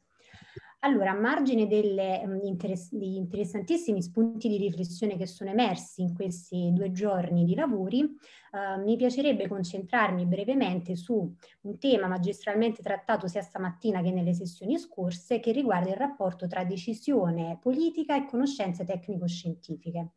Oggi in apertura il professore Simoncini paventava questo rischio uh, oggi molto concreto della presenza sempre più massiccia della tecnica che pervade e invade anche ambiti tradizionalmente uh, lasciati alla politica e quindi emblematico è proprio l'appuntamento quotidiano delle 18 con il comitato tecnico scientifico in cui non, so, non c'è una presenza politica. Ecco. E a um, tale riguardo Uh, oggi sembra che in questa emergenza, in questa pandemia da Covid, uh, che lo Stato di diritto sia soggetto a due forze confliggenti uh, e penetranti che sono da un lato l'emergenza, il professore Villone ieri um, affermava i due caratteri che contraddistinguono questa emergenza per, per il suo non essere né confinato geograficamente, in quanto pandemia globale, e soprattutto um, Uh, che non conosce nemmeno spazi temporali, nel senso che probabilmente dovremmo abituarci a convivere con questo virus almeno fino a quando non avremo un vaccino disponibile. E dall'altro della tecnologia, da qui anche il titolo, secondo me, molto efficace di questo webinar. Um, dunque, um, Uh, quello che um, è, se vogliamo effettivamente rendere la Costituzione come un faro, in questo contesto, come ha affermato la Presidente Cartabia, um, dobbiamo ricordare innanzitutto l'inquadramento costituzionale del favor verso la ricerca scientifica, le conoscenze scientifiche e tecniche richiamate prima dal professore Pizzetti, che ovviamente ha recitato l'articolo 9 della Costituzione nell'ambito dei nostri principi fondamentali, ma anche le linee guida che um, son, ci sono state consegnate dalla Corte Costituzionale quando ha trattato ampiamente dei temi di bioetica e le biotecnologie, ossia del rapporto che sussiste tra um, tecnica e um, diritto e decisione politica in particolare, laddove um, alla maggiore incertezza della tecnica e della scienza vi è anche una maggiore discrezionalità del decisore politico. Questo non deve essere visto in senso negativo e qui richiamo le parole di Zagrebeschi che pochi giorni fa ha rilasciato un'intervista e qui ha affermato proprio questo, ossia che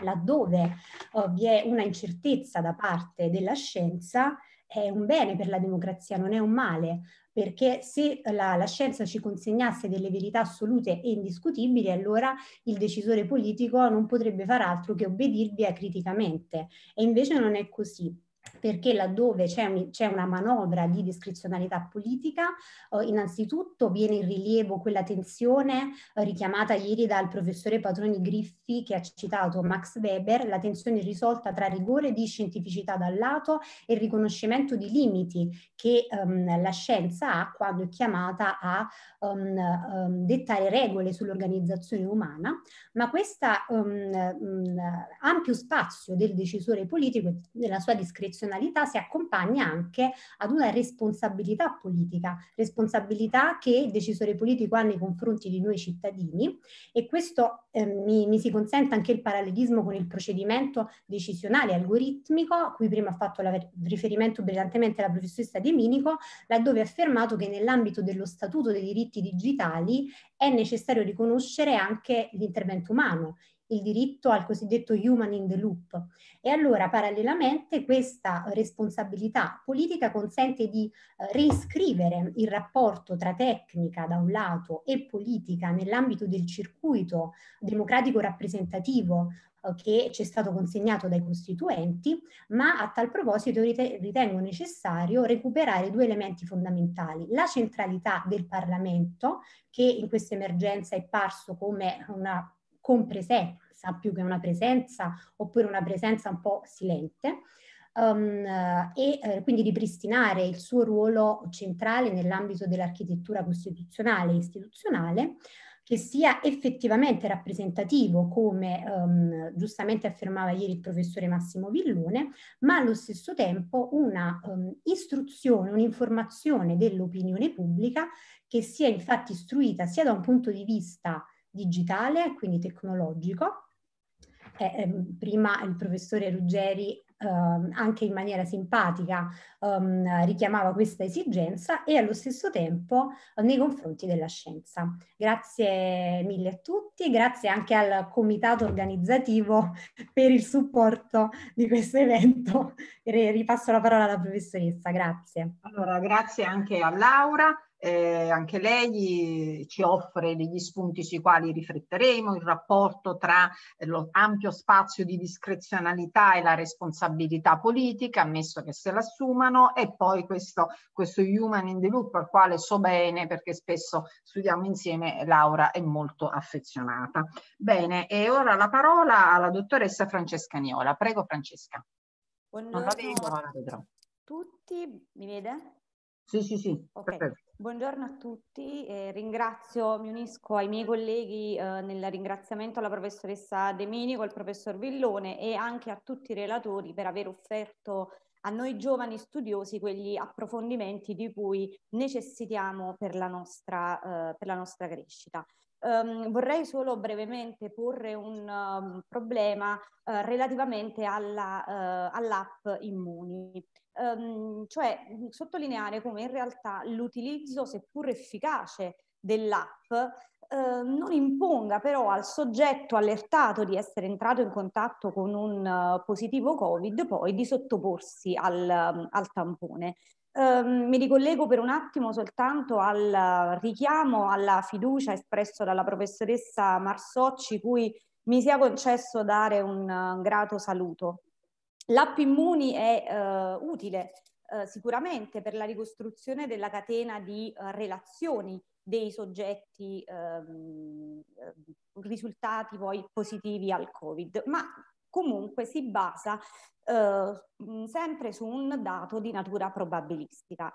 Il terreno di gioco è chiaramente quello del rapporto tra precauzionalità e proporzionalità delle misure ehm, alla luce della tutela del diritto alla salute, ma come interesse ehm, collettivo. E quindi mh, una domanda, si riesce a galvanizzare questa componente eh, solidaristica che è fondamentale nel diritto alla salute basandosi su un dato puramente probabilistico?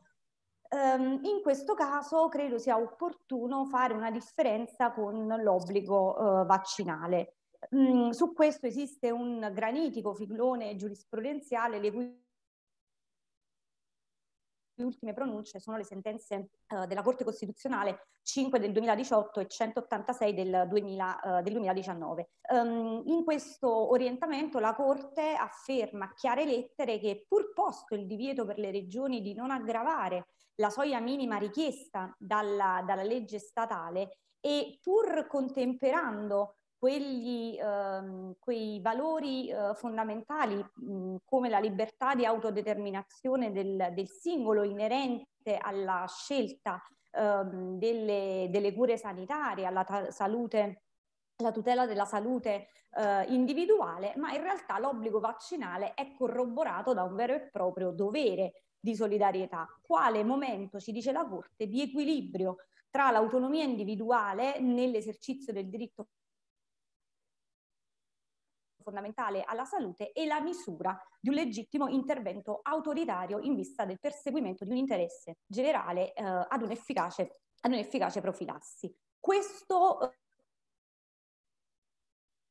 richiamo, questo rapporto realizza perfettamente quel rapporto, quel paradigma tra precauzionalità e proporzionalità di cui ehm, anche oggi stiamo, stiamo discutendo. Beh, diversamente succede per il trattamento dei dati tramite eh, contact tracing perché eh, la natura probabilistica del dato per cui l'utente che riceve la comunicazione di allerta insieme alla sua volontaria però accettazione di scaricare l'app, al trattamento in forma aggregata dei dati, lo sentivamo ehm, anche prima, in forma eh, pseudonimizzata, l'assenza di una specifica previsione eh, normativa, non assicurano però che l'utente si sottoponga poi successivamente al, al tampone. In altre parole, eh, nel bilanciamento tra l'autodeterminazione del singolo e il dovere di tutelare la salute, la salute collettiva, eh, l'utilizzo del contact tracing nei termini descritti dal decreto legge del 30 mh, aprile galvanizza solo il primo dei, uh, di questi interessi. E, mh, mm, mi sia consentito, uh, rimangono in piedi quelle obiezioni sottolineate anzitempo dalla professoressa De Minico nel suo articolo Virus e algoritmi, impariamo da una esperienza dolorosa, edito da Micromega il, il 3 aprile, nel momento in cui eh, quando lei sollevava mh, mm, ecco, a chiare lettere che ehm, l'esito uh, del, del, del, dell'algoritmo poi si risolva in una decisione esclusivamente automatizzata oppure si chiedeva se venisse limitata a essere una uh, parte di un processo volitivo umano uh, che l'algoritmo però di fatto o assume o supera.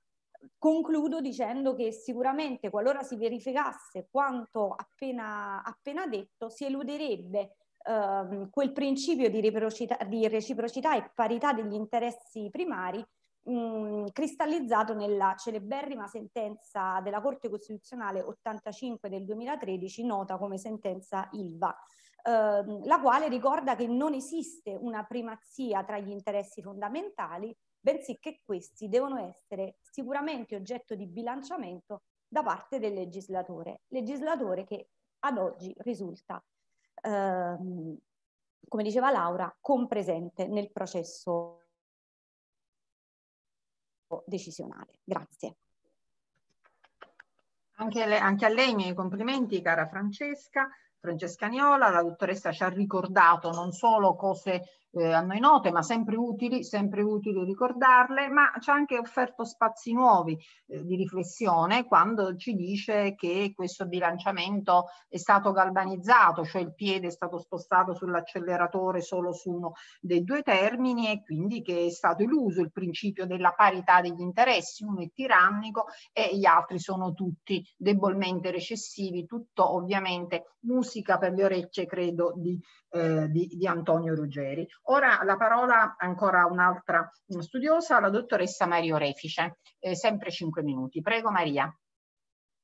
Eccomi, buongiorno a tutti, grazie alla professoressa De Minico e al professore Villone per questa occasione di, di incontro e di dialogo. Eh, ne approfitto anche per salutare la professoressa Grisolia che ho visto in collegamento anche stamattina e che ho ascoltato ieri, con cui ho discusso la tesi di dottorato ormai due anni fa a Napoli e salutare ovviamente anche tutti i relatori ringraziandoli per i vari interventi. Eh, oggi volevo condividere con voi due riflessioni riprendendo quello che che ho ascoltato da alcuni di voi.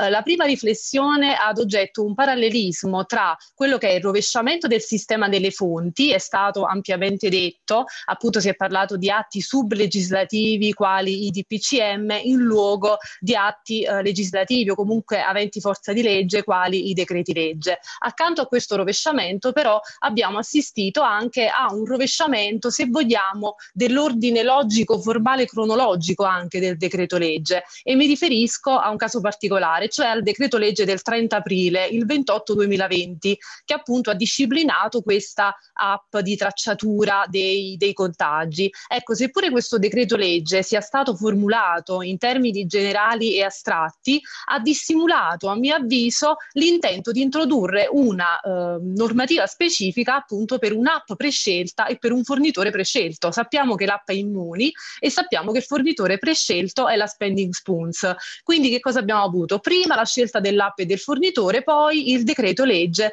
che ha indicato le varie uh, misure cui attenersi. Uh, qual è la domanda a valle di questa riflessione? Uh, è che come aveva suggerito il professore Azzariti anche ieri, se è vero che un fatto di necessità si impone sul diritto, il mio timore è che le eccezioni inneschi sempre nuove eccezioni e quindi proprio in un momento in cui forse che è quello dell'emergenza, la Costituzione, come ci ha ricordato anche la Presidente della Consulta, Marta Cartavia, dovrebbe fare da bussola nel mare appunto alto della, della crisi, quando dobbiamo navigare appunto in questo mare eh, difficile, eh, con il rischio che anche quando sarà ripristinato il tempo ordinario eh, sarà, sarà, ormai troppo tardi perché qualcosa è già stato perduto.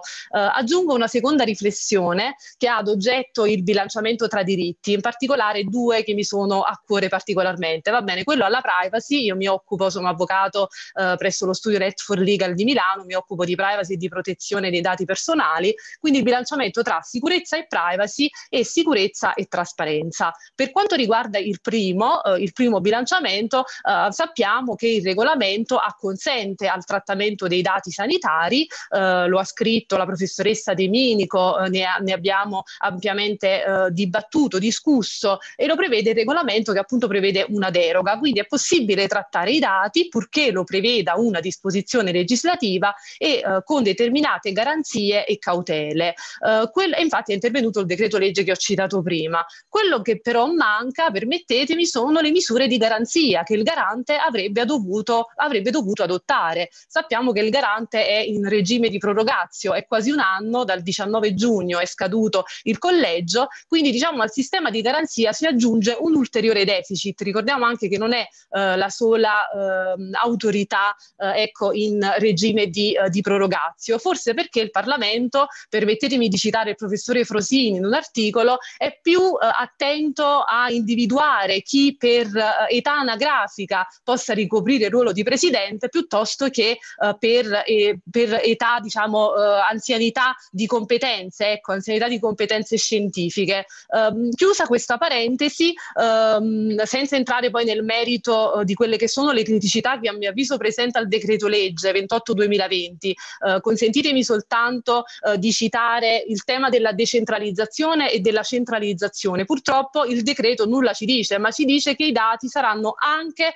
salvati sugli smartphone, quindi non esclude un sistema centralizzato. Non ci dice nulla sulla pseudonimizzazione dei dati, chi eh, la eseguirà questa pseudonimizzazione, quindi escludiamo che eh, siano trattati dati anonimi, ma dati pseudonimi. Eh, e eh, in terzo luogo abbiamo avuto un'indicazione sull'apertura del codice. Non sarà un'apertura totale, ma un'apertura parziale del codice sorgente eh, di questo applicativo. Um, chiusa quindi la parentesi di questo decreto legge, vorrei invece adesso aprire un ulteriore interrogativo sul bilanciamento di un altro diritto, quello che vi anticipavo prima.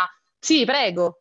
No, no, niente, dico ha un minuto, però apra pure. Giusto, giusto, giusto, velocissima. Prego, prego, prego. Uh, bilanciamento tra uh, sicurezza e uh, trasparenza. Sempre riprendendo questo decreto legge, il famoso 28-2020, si legge che saranno destinati all'implementazione della piattaforma circa 1 milione e 500 mila euro. Quindi spatiamo il mito della gratuità di questo, di questo applicativo. Ora, se io volessi avere accesso ai contratti di appalto, mi trovo dinanzi quello che mi dice il decreto Cura Italia del 19 marzo, che invece mi dice che il mio diritto di accesso, sia esso documentale, sia esso civico, sia esso civico generalizzato, è stato sospeso fino al 31 maggio eh, di, questo, di questo anno. Ecco, la mia riflessione era questa, non soltanto noi ci troviamo dinanzi a un diritto alla trasparenza che è un diritto monco, perché la natura precettiva del principio di buon andamento eh, di cui all'articolo 97 della Costituzione imporrebbe la piena visibilità delle informazioni della pubblica amministrazione, quindi un regime di open data, ma abbiamo un, uh, un diritto di accesso alla trasparenza che prevede che sia sempre il cittadino a bussare alle porte della casa di vetro per vedersi aprire dall'amministrazione che sia operosa, che in questo caso però è completamente azzerato, azzerato quindi al di là di quella che invece dovrebbe essere il nucleo essenziale protetto e quindi l'essenza del diritto così eh, che, che, si sottrarrebbe non soltanto al revisore costituzionale ma eh, appunto come prevede anche la Carta di Nizza, l'articolo 52 della Carta eh, di, eh, di, Nizza. Eh, ho concluso la mia, la mia, seconda riflessione, quindi vi restituisco ulteriori riflessioni. Grazie ancora per, per l'occasione.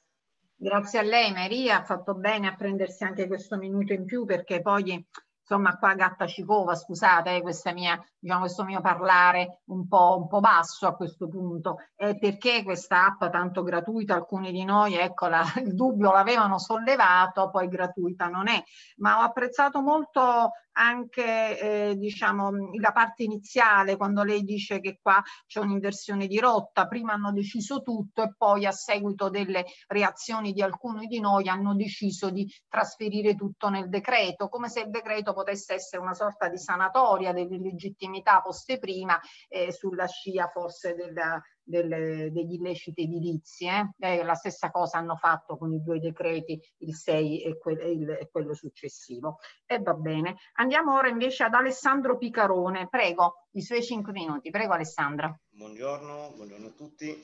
Eh, intanto mh, vorrei ringraziare sia la professoressa De Minico che il professore Villone per, per, per, per l'idea che hanno avuto e per la possibilità che eh, o di poter intervenire. E, ehm, dunque, il, le mie riflessioni eh, si articolano mh, su mh, un punto principalmente che era stato eh, ieri accennato anche dal professore Luciani, cioè questa pandemia sta in qualche modo accentuando le, eh, le diseguaglianze tra le persone, perché eh, il professore Luciani diceva chi ha una bella casa vive meglio la quarantena rispetto a chi non ce l'ha abbiamo visto anche con eh, la professoressa Massocci che in realtà anche per il dopo questo potrebbe generare un problema, mm, cioè che succede se, ehm, se decido di non scaricare l'app o che succede se non ho la, la, facoltà, non ho uno smartphone adeguato per scaricare l'app, immuni o quasi immuni come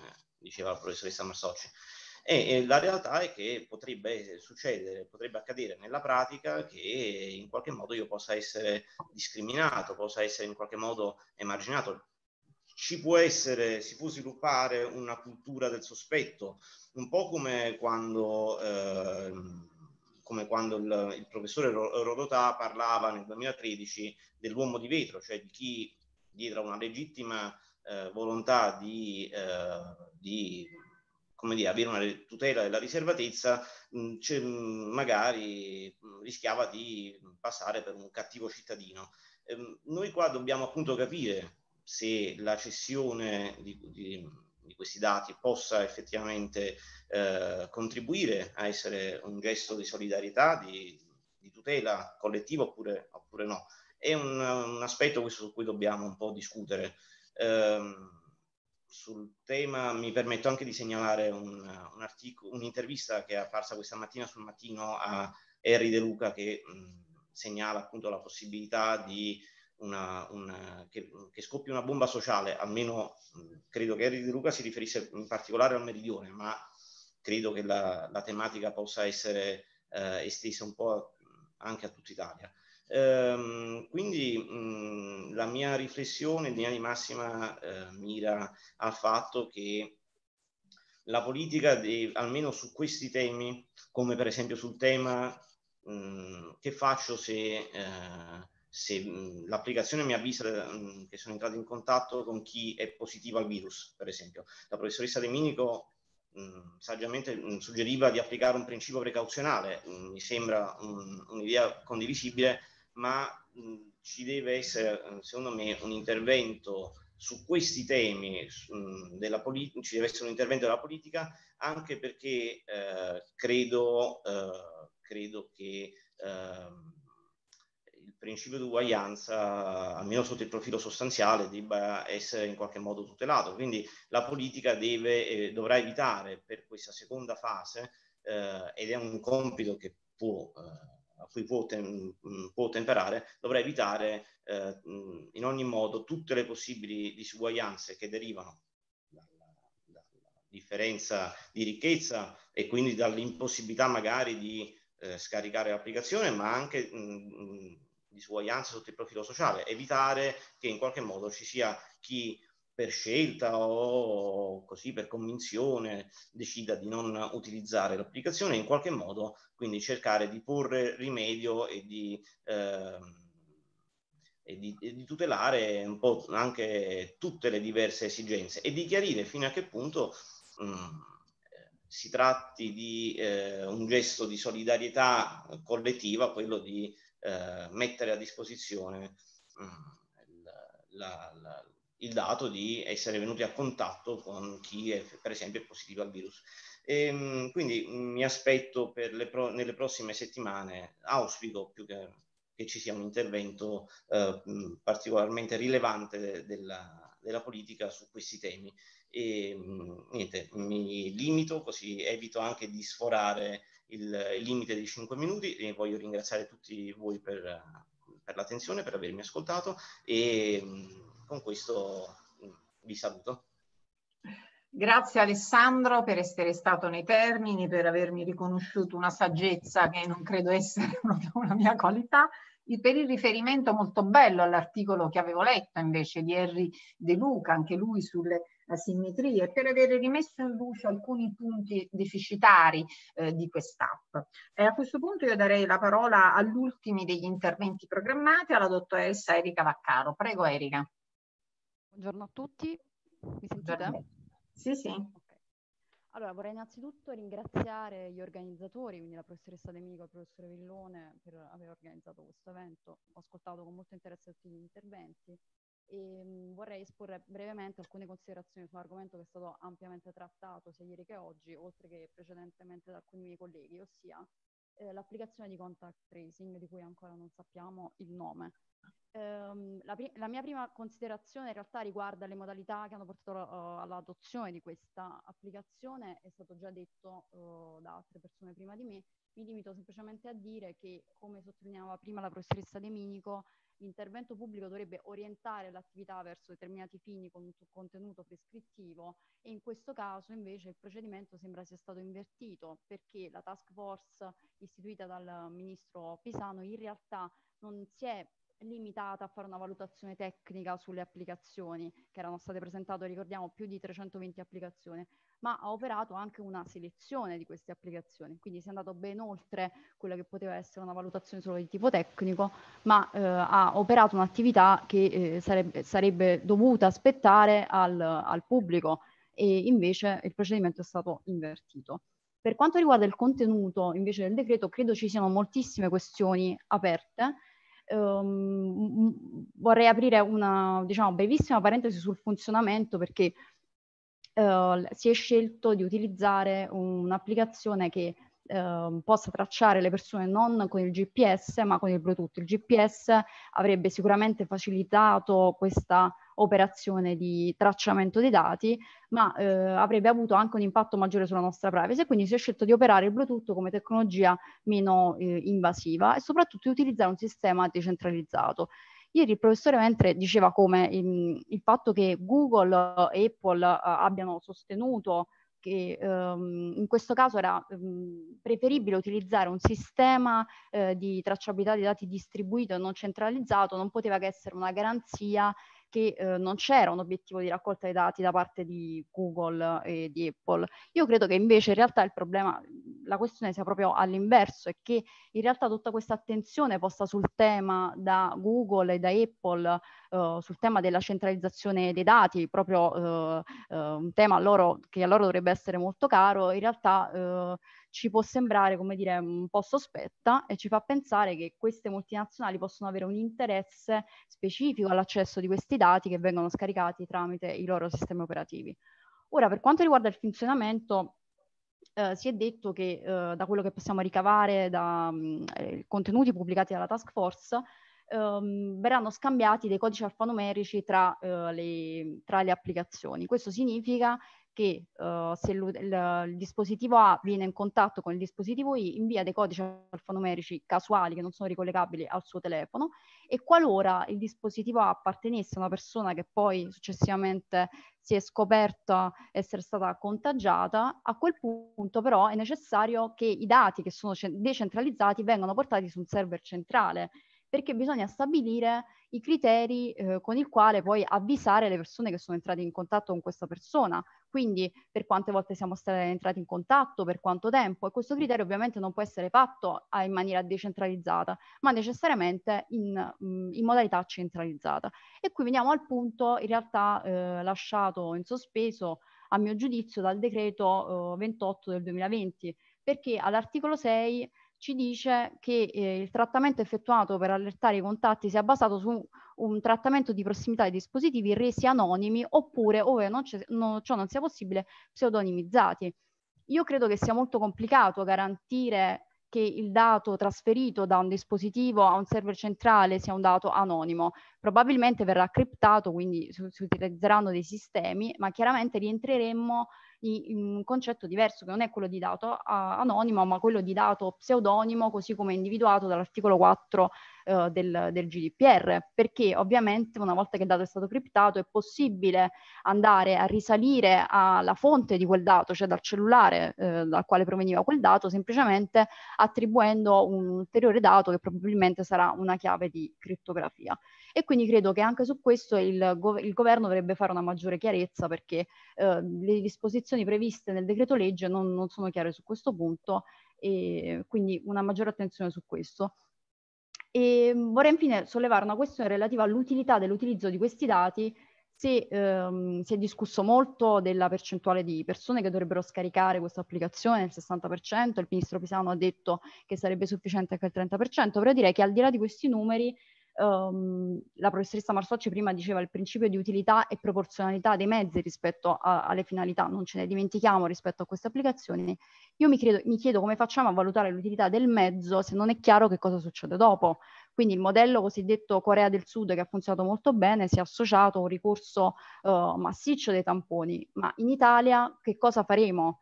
Che qual è, qual è eh, diciamo, uh, l'obiettivo. Um, io uh, temo che in questa, um, per come è stata predisposta questa applicazione, ci troveremo poi eh, lasciati in una condizione di eh, isolamento fiduciario, per tornare sul concetto di, di fiducia. E quindi concludo dicendo che si è parlato molto di diritto alla salute, eh, però io direi eh, che eh, bisogna porci anche qualche domanda relativa alla salute mentale delle persone che già è stata ampiamente messa alla prova in questi duri mesi di quarantena e quali reazioni potrebbe avere una persona che riceve una notifica sul proprio telefono con cui la informano eh, di essere entrata in contatto contatto con un soggetto positivo se poi non gli, la, non gli, si dà la possibilità di accedere al tampone. Quindi io credo che fino a quando non saranno chiariti questi punti non scaricherò l'applicazione e credo che molti faranno lo stesso e, e credo invece che il legislatore dovrà risolvere questi aspetti ausp- auspicabilmente prima uh, della fine della fase 2. Chiudo con questo. Grazie anche a lei Erika anche la dottoressa Vaccaro, beh, è riuscita nonostante in tanti si è parlato dell'app a trovare anche lei degli, degli spicchi per introdurre degli elementi di novità o, quantomeno per dare una lettura critica a qualcosa che qualcuno di noi aveva detto, addirittura mi va a criticare anche la posizione del nostro garante privacy per il quale il dato anonimo, pseudonimo più o meno va lo stesso, ma per Erika non fa lo stesso. E poi chiude con questo diritto alla salute mentale delle persone che l'app verrebbe a negarci. Eh, c'è molta fantasia e molta libertà giuridica intorno alla mia cattedra, allora qualcosa non può che rallegrarmi. A questo punto, sempre col permesso del, di colui che dovrà concludere, cioè di Antonio, ma l'avevamo anche concordato prima, io vorrei fare due, dire due parole di ringraziamento a vari diciamo, gruppi di persone e poi dare pochi istanti al mio maestro Massimo Millone che credo che abbia tutto anche lui il diritto di ringraziare e poi ascoltare eh, proprio con eh, doveroso mh, mm, silenzio eh, il nostro diciamo colui che dovrà concludere. Ecco me li sono scritti i ringraziamenti perché ho una memoria veramente labile.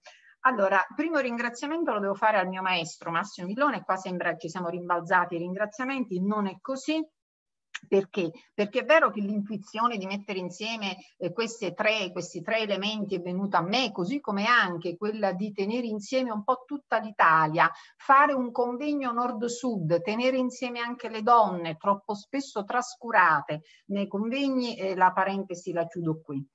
Eh, ma eh, il mio maestro mi ha proprio aiutato a mh, mm, guardare avanti, a dare un'impostazione un po' proiettata verso il futuro, perché lui mi diceva sempre una cosa, e vale a dire, io sono un po' timorosa verso le novità, lui mi diceva sempre no, no, no, le novità le devi capire perché la tecnologia, come tutte le novità, eh, vanno, vanno capite, solo se le capisci non le temi le puoi governare. Allora grazie sempre per questa, eh, per questa capacità di guardare ben oltre quello che è il mio sguardo e di invitarmi a guardare ben oltre.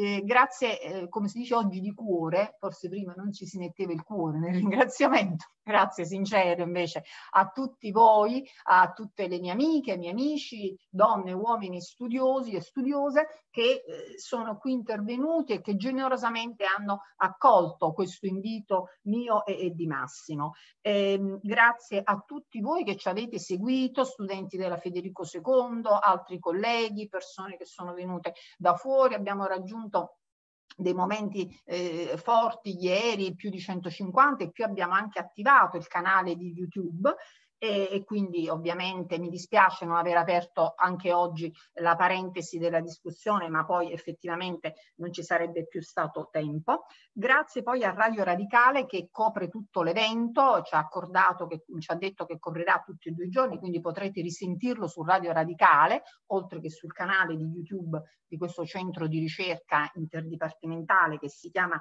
Hermes e infine un grazie a tutte le mie eh, giovani, eh, alle mie collaboratrici e, e studiose ehm, che non solo hanno superato i vari ostacoli tecnologici che abbiamo incontrato e mi sembra in maniera egregia, ma soprattutto sono riuscite a sopportare, a placare eh, il mio eh, diciamo, senso della perfezione, perché in realtà la perfezione non rende felici, ma io non riesco a liberarmi dal limite della perfezione, ma loro eh, se ne l'hanno diciamo, superato abilmente. E quindi qui il ringraziamento va in ordine alfabetico alla dottoressa Maria Francesca Di Tullio, Laura Grimaldi, Francesca Miola, Mario Retici, Alessandro Picarone, Erika Vaccaro, nonché quella bellissima locandina che voi vedete che ha quel fiore eh, che era stata un po' una mia idea, facciamo la locandina col fiore perché deve dare il segno del senso della ripresa, io ho molto diciamo, un senso artistico nella vita, bene, questa locandina, l'idea era solo mia, ma è stata egregialmente invece eh, realizzata da uh, Franzese, da Mario uh, Franzese, ehm, che ha fatto questo fiore che come vedete eh, si apre, si apre come se fosse un soffione, con questo segno appunto di, di diffondere allegria ma anche speranza per l'avvenire. Eh, in questi giorni vi scriverò un'email nella quale vi invito a fare il vostro, a rendere le vostre idee un contributo scritto perché vorrei fare gli atti. Ecco, in questo vi sarei proprio grata se non vi faceste inseguire tutti come se foste delle belle donne. Eh, cioè io vi darei un termine diciamo così per fine giugno e mandatemi quest'atto così facciamo questi scritti agili. A questo punto, sempre con il permesso di Antonio Ruggeri, darei la parola a Massimo Villone per un breve ringraziamento e poi finalmente sentiamo Antonio Ruggeri, che ha avuto veramente tanta pazienza. Prego Massimo.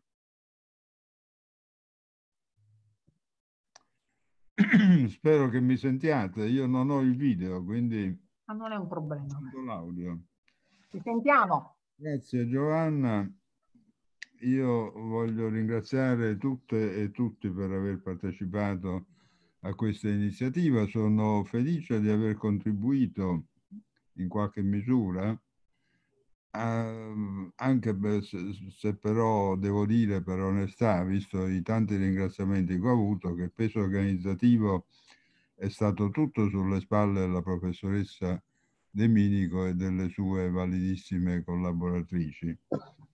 Uh, a me pare che il risultato sia stato apprezzabilissimo. La discussione che abbiamo avuto uh, ieri e questa mattina pare che abbia colto tutti i profili più rilevanti, soprattutto perché ha saputo porsi uh, bene, io direi, eh, sul fatto e sul diritto insieme. Io credo che eh, lo studioso o studioso di diritto costituzionale o diritto pubblico ehm, guarda in realtà allo scenario dell'esistente e allo scenario del possibile eh, insieme.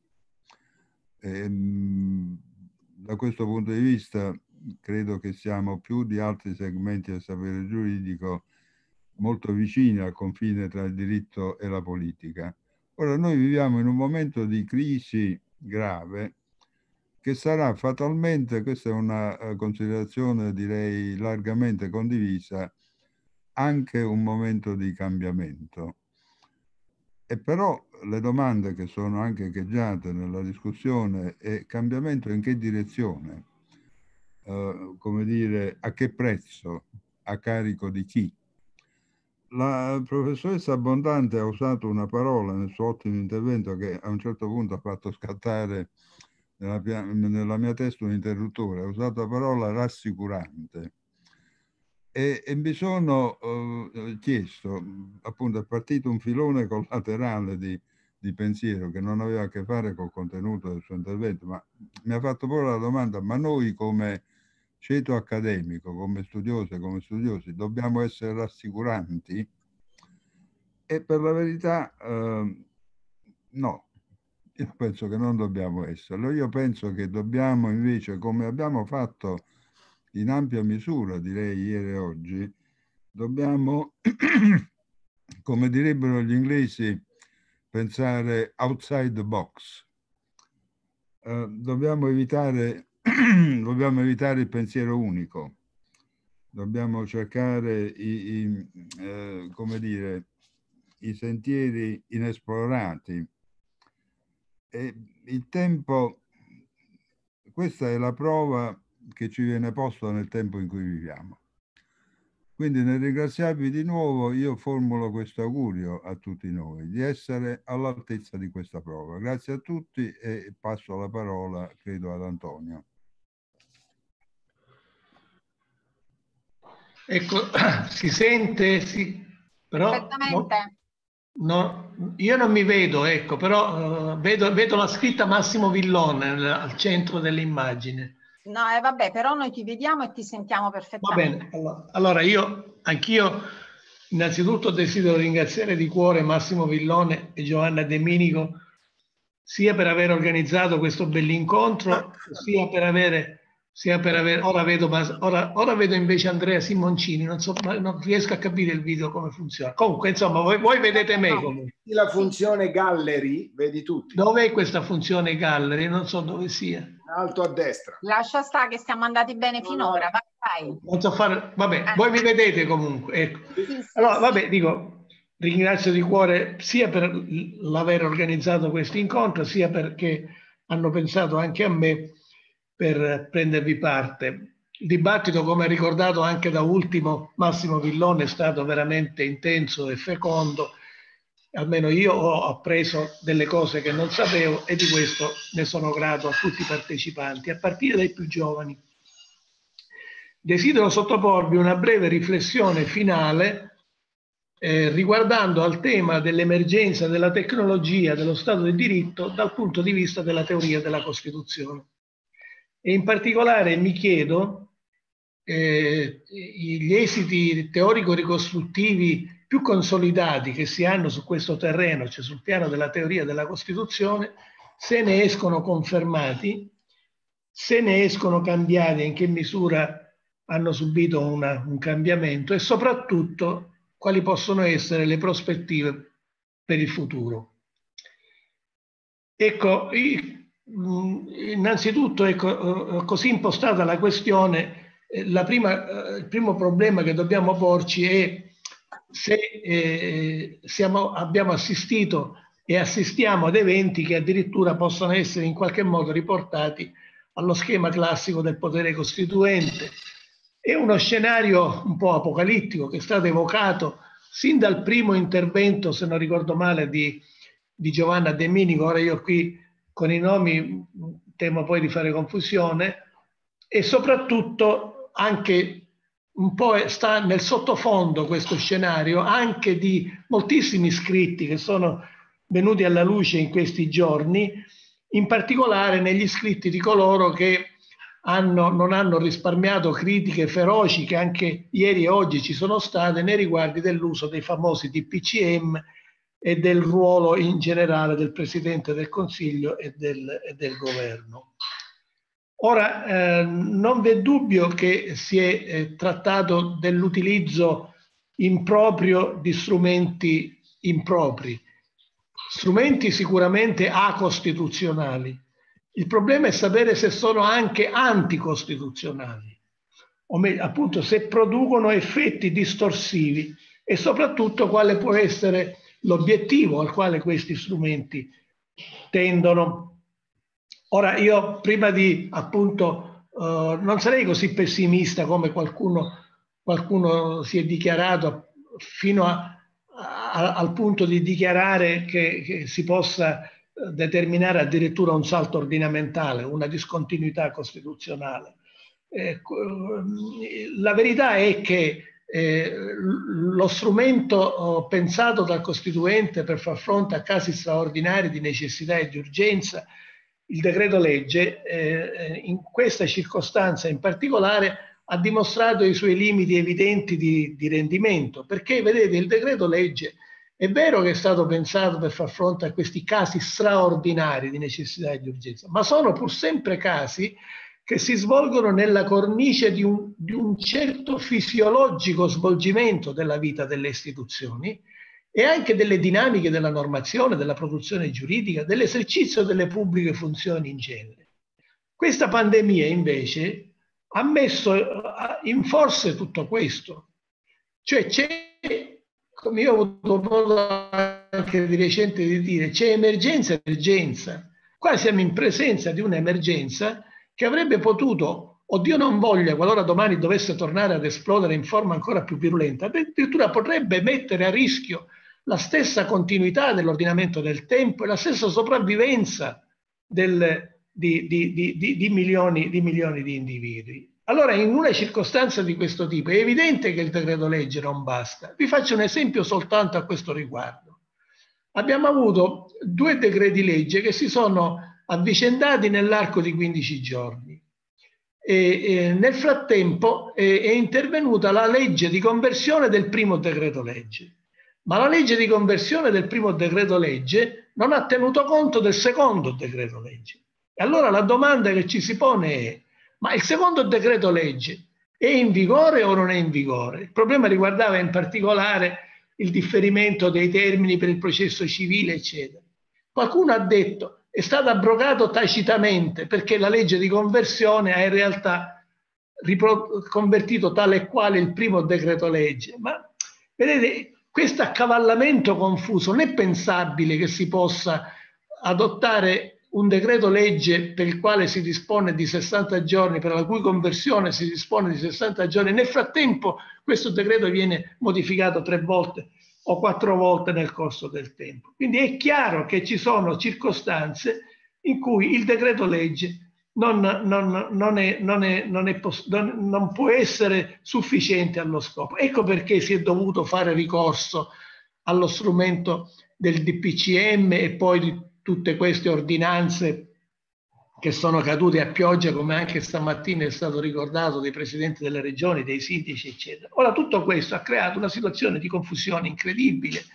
Per esempio, il cittadino non sa se prestare ascolto al decreto del sindaco o all'ordinanza del sindaco o all'ordinanza del presidente della regione o ancora al decreto del, del presidente del Consiglio dei Ministri. E se non altro per questa ragione, cioè per evitare il caos che c'è tuttora che è fonte di, di, di, incertezza del diritto e incertezza anche dei diritti da, da, da, da far valere, se non, non fosse altro che per questa ragione, io invece, a differenza di di Sandro Staiano e di altri che anche in questo nostro incontro si sono dichiarati contrari all'inserimento di una clausola di emergenza in Costituzione. Io sono favorevole a questo proposito, se non altro per evitare un effetto che considero assolutamente controproducente, cioè quello per cui in presenza del silenzio della Costituzione e posta la insufficienza del decreto legge in quanto tale a, a far fronte all'emergenza, si va all'improvvisazione, si va appunto alla, alla, alla, a un assetto o a un equilibrio o uno squilibrio nell'assetto del, de, de, dei pubblici poteri che eh, questo sì che considero, che considero sommamente pericoloso. Aggiungo un'ultima considerazione su questo punto prima di andare oltre, ed è che anche quando si dovesse definire per sommi capi una sorta di regime dell'emergenza o delle emergenze, ciononostante ugualmente potrebbero darsi circostanze in cui il modello costituzionale salta. E faccio un esempio soltanto a questo proposito. Prendiamo quello che dice attualmente la Costituzione sullo stato di guerra. Qui non c'è il silenzio della Costituzione, c'è un'indicazione molto sommaria su come si fa fronte a una guerra. Benissimo, ci vuole la, de la delibera del Parlamento e poi la, la, la, dichiarazione da parte del capo dello Stato. Ma voi vi immaginate cosa accadrebbe in presenza di un attacco non preannunziato con missili a testate nucleare che nell'arco di pochi minuti cominciano a cadere a pioggia sul territorio del nostro paese se noi dovessimo pretendere la riunione prima di una Camera e poi dell'altra, il dibattito parlamentare, l'opposizione che fa ostruzionismo e poi magari e perché no l'impugnazione della delibera davanti alla Corte Costituzionale per conflitto di attribuzione fra poteri dello Stato.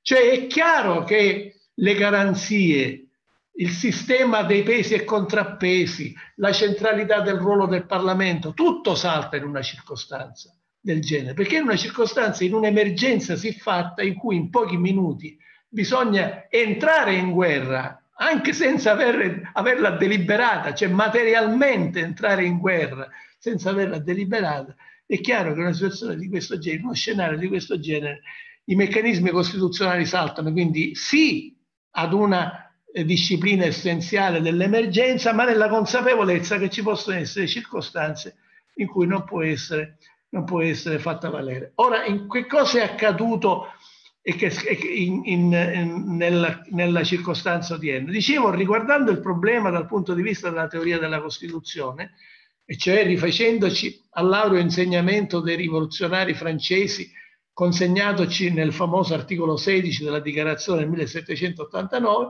ci dobbiamo chiedere dal punto di vista dell'equilibrio dei poteri e dal punto di vista dei diritti se l'idea di Costituzione si può dire essere stata fatta salva oppure no.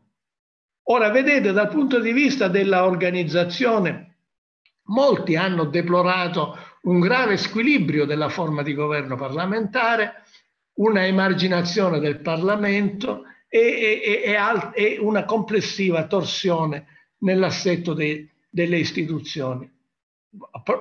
Innanzitutto vorrei dire, ricordare a me stesso che eh, la forma di governo parlamentare certamente non da oggi ha subito e subisce da, eh, forti, forti, come dire, eh, ha subito dei vulnera, ha subito delle ferite e una distorsione palese, se non altro innanzitutto a causa della annosa questione della crisi della rappresentanza politica e del sistema dei partiti che, che, che, che tutto ha fuorché carattere sistematico al proprio interno. E secondariamente basti pensare anche al ruolo fortemente alterato degli organi di garanzia, capo dello Stato e, e, e, Corte Costituzionale, che in molte circostanze si sono trovati a dover, a dover esercitare un ruolo esso pure improprio alla luce di una rigorosa ricostruzione del modello costituzionale di supplenza come su, su, suole essere chiamato. Ma naturalmente anche qui siamo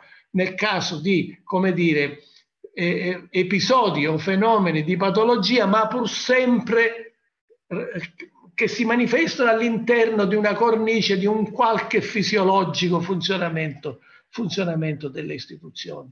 Certo, l'emergenza ha determinato questa forte, questa forte torsione. Ecco perché io mi sono permesso di affacciare l'idea molto di recente, in considerazione, come dicevo, della insufficienza del decreto legge, di prevedere che anche i DPCM possano essere sottoposti a un primo vaglio, a un vaglio del Presidente della Repubblica, perché a me pare che l'unico organo che possa in via sussidiaria, una sussidiarietà necessaria, veramente operare per assicurare un minimo di garanzie della tenuta del, del dettato costituzionale, in questa situazione sia il Presidente della Repubblica. E se ci fate caso, noi qui assistiamo a una sorta di, a una singolare applicazione della teoria dei vasi comunicanti, perché da un lato io vedrei particolarmente rinvigorito il ruolo del capo dello Stato proprio a garanzia di quella democrazia parlamentare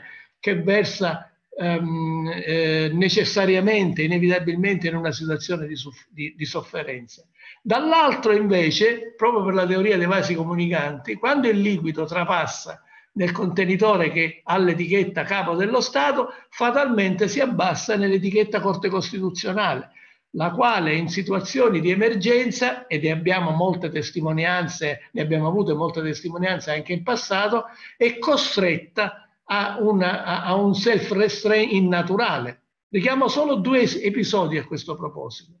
La sentenza 15 dell'82, la famosa sentenza sulla, sulla eh, normativa antiterrorismo, quando la Corte Costituzionale si è trovata costretta a non annullare una normativa che prolungava in maniera abnorme i termini massimi di carcerazione preventiva, portandole fino a otto anni, e, e asserendo che in situazioni di emergenza si giustifica testuale l'adozione di misure insolite, come le ha pudicamente definite, che si giustificano appunto in nome dell'emergenza, ma che devono essere immediatamente eliminate eh, una volta cessata l'emergenza. Ma sta di fatto che ci ha messo la classica pezza. E poi ricordo il secondo episodio, la sentenza 17 del 2019, recentissimo, quando la Corte Costituzionale, davanti ad una vistosa, macroscopica violazione delle regole costituzionali e regolamentari sulla formazione delle leggi, che, che la Corte stessa ne abbia detto vistosissima violazione, ha dovuto, ha dovuto per salvare i conti pubblici, la nostra immagine, la tenuta dei nostri rapporti con i partners europei, ha dovuto far salva la legge di bilancio che peraltro pietatis causa gli stessi ricorrenti non volevano annullata. Una stranezza, perché nel momento in cui la Corte Costituzionale come è noto, dichiara, dichiara che, è stato, che, è stato, che si è avuta una torsione in sede di conflitti di attribuzione fra poteri dello Stato, dice la legge 87 del 53, deve annullare l'atto lesivo della competenza. E quindi né i ricorrenti potevano chiedere che non fosse annullata la legge di bilancio, né la Corte Costituzionale avrebbe potuto trattenersi dall'annullare. Ma comunque lasciamo perdere questo aspetto, io volevo solo sottolineare come il ruolo della Corte Costituzionale sia, eh, eh, come dire, necessariamente eh, obbligato a contenersi in situazioni di emergenza e non vedo un'emergenza maggiore di quella che abbiamo avuto, mentre vedrei meglio il ruolo del capo dello Stato. Ad ogni buon conto, la tecnologia è venuta in soccorso del sistema istituzionale. È venuta in soccorso, tanto vero è che grazie alla tecnologia si è potuto assicurare il funzionamento degli organi eh, costituzionali. Basti pensare ad esempio alle misure adottate dalla Corte Costituzionale per consentire la celebrazione dei giudizi, anche dalle Corti europee sono state adottate e eh, tutta una serie di altri provvedimenti che hanno potuto consentire il fisiologico svolgimento della vita delle istituzioni. Qualora domani noi ci dovessimo trovare in una situazione, ad esempio, di voto parlamentare a distanza, questo però non voglio dire nulla dopo le cose egregie che ci ha detto Lara Trucco, eh, in ogni caso forse, come dire, sarebbe il male minore. Eh, eh, certamente se noi non avessimo avuto le risorse della tecnologia, eh, ci sarebbe, saremmo, la vita delle istituzioni si sarebbe trovata obbligata ad una stasi naturale con effetti catastrofici. E vengo all'altra gamba, eh, dopo la gamba del, del rapporto delle istituzioni, alla gamba dei diritti. Sul versante dei diritti, possiamo dire che nella situazione di emergenza abbiamo avuto la Costituzione, abbiamo avuto il vigore della Costituzione e soprattutto sul versante dei diritti, quali scenari si prefigurano una volta cessata l'emergenza? Qui è il punctum crucis della questione costituzionale. su cui noi dobbiamo fermare la nostra attenzione. Ecco, anche oggi, ieri, sia ieri che oggi ho sentito delle cose egregie per quanto riguarda i limiti vistosi ai quali sono andati soggetti i diritti, in particolare naturalmente più di altri, diritti, ma non solo i diritti sociali, eh, tutti i diritti di libertà, eh, tutti i diritti sono andati compressi, si sono trovati compressi in conseguenza della, della, della situazione nella quale, nella quale ci siamo trovati. Ora qualcuno ha detto anche stamattina, però non ricordo chi e chiedo scusa per questa dimenticanza, che i diritti in realtà, richiamando più volte, sono, è stata richiamata la sentenza ILVA, la 85 del 2013, che tutti i diritti, nessun diritto si può affermare tirannicamente sugli altri, che tutti i diritti devono essere bilanciati fra di loro, eh, bisogna puntare all'obiettivo della massimizzazione della tutela dei diritti, o io direi al contrario, all'obiettivo di evitare la minima sofferenza possibile nel, dei, dei, diritti, e tutte cose vere naturalmente, però non ci, non ci dimentichiamo un piccolo particolare, che i diritti presuppongono la vita, la vita e la salute delle persone per essere goduti. Quindi io non posso dare tutti i torti all'impostazione che ha dato il governo Conte quando ha detto fermiamo tutto, perché c'era la necessità, in una prima fase almeno, di fermare tutto perché si trattava di salvare la vita e la salute delle persone. È chiaro che poi ci siamo trovati davanti a scelte tragiche, come ci ha ricordato Casonato a quale mi dispiace che non abbia potuto mantenere il collegamento, volevo, mi permetto soltanto di ricordare, poi magari se qualcuno di voi ha modo di sentirlo glielo può dire, che c'è stata una bella intervista che è stata fatta dalla rivista Giustizia Insieme eh, qualche giorno fa, eh, soprattutto a Luigi Ferraioli, è stata fatta anche a me, a un illustre eh, luminare della medicina, non mi ricordo chi, proprio dedicata a questo problema specifico di... Ehm, dell'utilizzo dei casi in cui i posti di terapia intensiva siano assolutamente limitati e del, di, di, di, quale criterio o quali criteri mettere in campo per, per far luogo alla scelta. Eh, non aggiungo nulla alle cose che ha detto Carlo Casalato, dico semplicemente che a me sembra mostruoso immaginare di dover fare la scelta fra due vite umane. Mostruoso, qualunque siano queste vite la vita del vecchio novantenne che comunque non ha davanti a sé un lungo orizzonte temporale come la vita del ventenne in piene forze. Qualcuno ha detto negli Stati Uniti d'America che, eh, ora non ricordo il nome di questo filosofo, che eh, bisogna comunque dare la precedenza alla vita dei medici perché i medici possono a loro volta tornare poi a salvare, a salvare tante altre vite umane. Ma io anche se la mia mente, eh, come dire, alle volte mi consente di avvicinarmi a questo punto di, di vista, io non riesco ad, ad, identificarmi totalmente con questo punto di vista, perché non riesco a mettere su due piatti di bilancio la vita di un essere umano come con, e quella di altre, anche di tante altre, tante altre persone. Ad ogni buon conto, eh, che, che, i diritti siano stati eh, fortemente compressi, mi pare un dato assolutamente innegabile. Ma ecco, io mi pongo a questo punto e con questa riflessione, riflessione finale eh, concludo il mio intervento, scusandomi anche, non so neanche esattamente quanto tempo ho impiegato. Dicevo in prospettiva futura.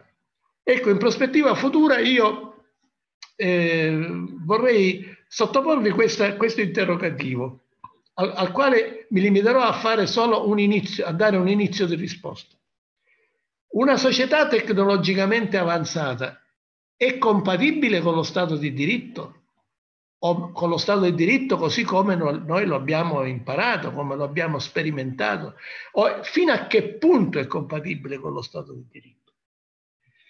Giovanna De Minico ci ha detto stamattina che quando si supererà eh, questa fase, quando ci lasceremo alle spalle questo tsunami, lo dico con parole mie, naturalmente lei l'ha detto molto più efficacemente, bisognerà andare a, a compensazioni e, e, come dire, eh, in vista dell'eguaglianza sostanziale e da questo punto di vista la tecnologia può essere, come dire, un, un, un carburante, cioè un, un fattore per il raggiungimento dell'eguaglianza sostanziale.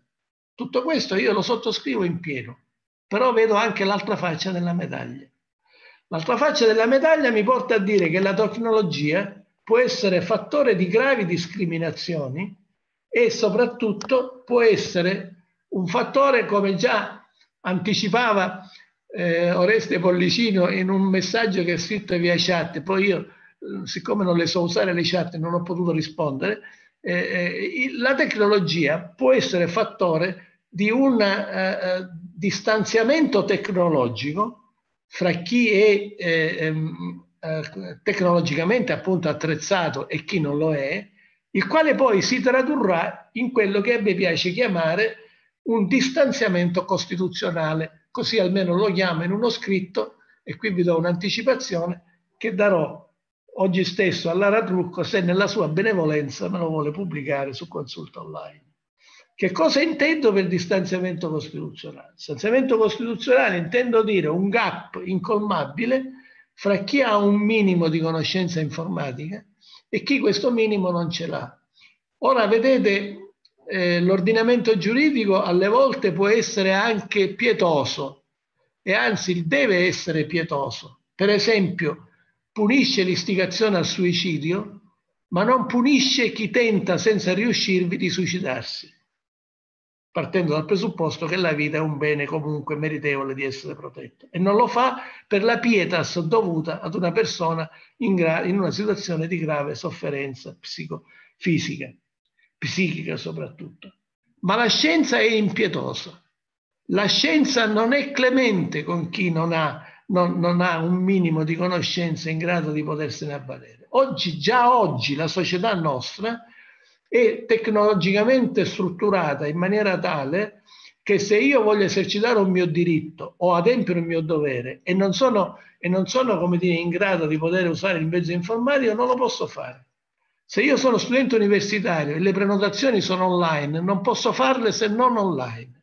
Se io sono un docente universitario e devo fare una verbalizzazione di un esame online, se io non la so fare, non la posso fare. Se io non so usare il mezzo tecnologico, già oggi tante relazioni sociali non posso, sono tagliato fuori.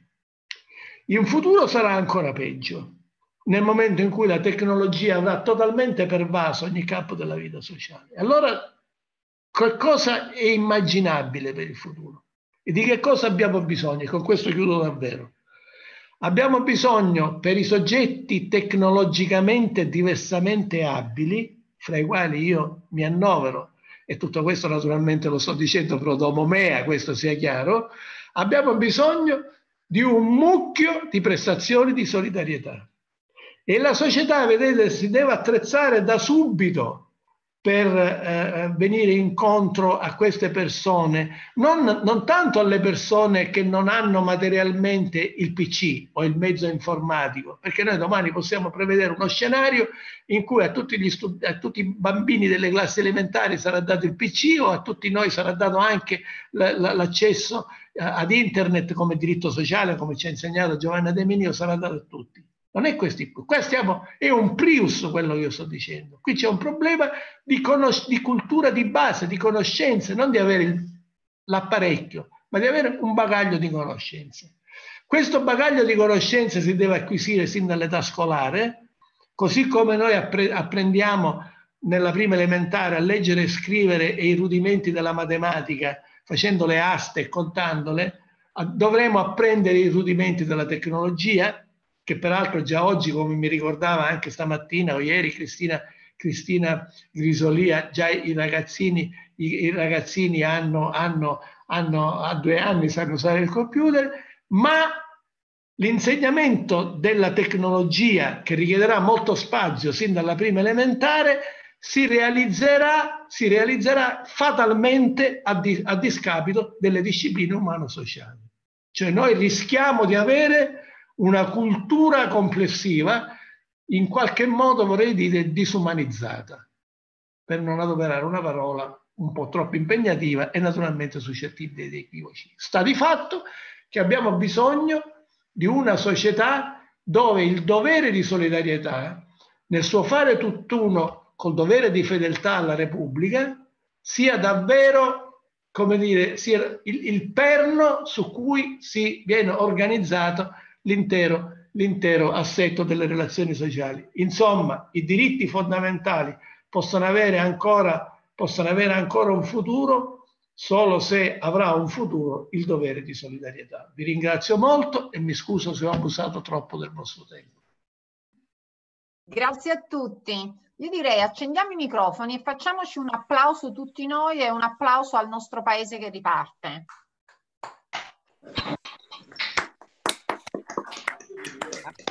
Bravo Giovanna, bravo Massimo. Ciao. Complimenti. Ciao a tutti, grazie di cuore. A presto.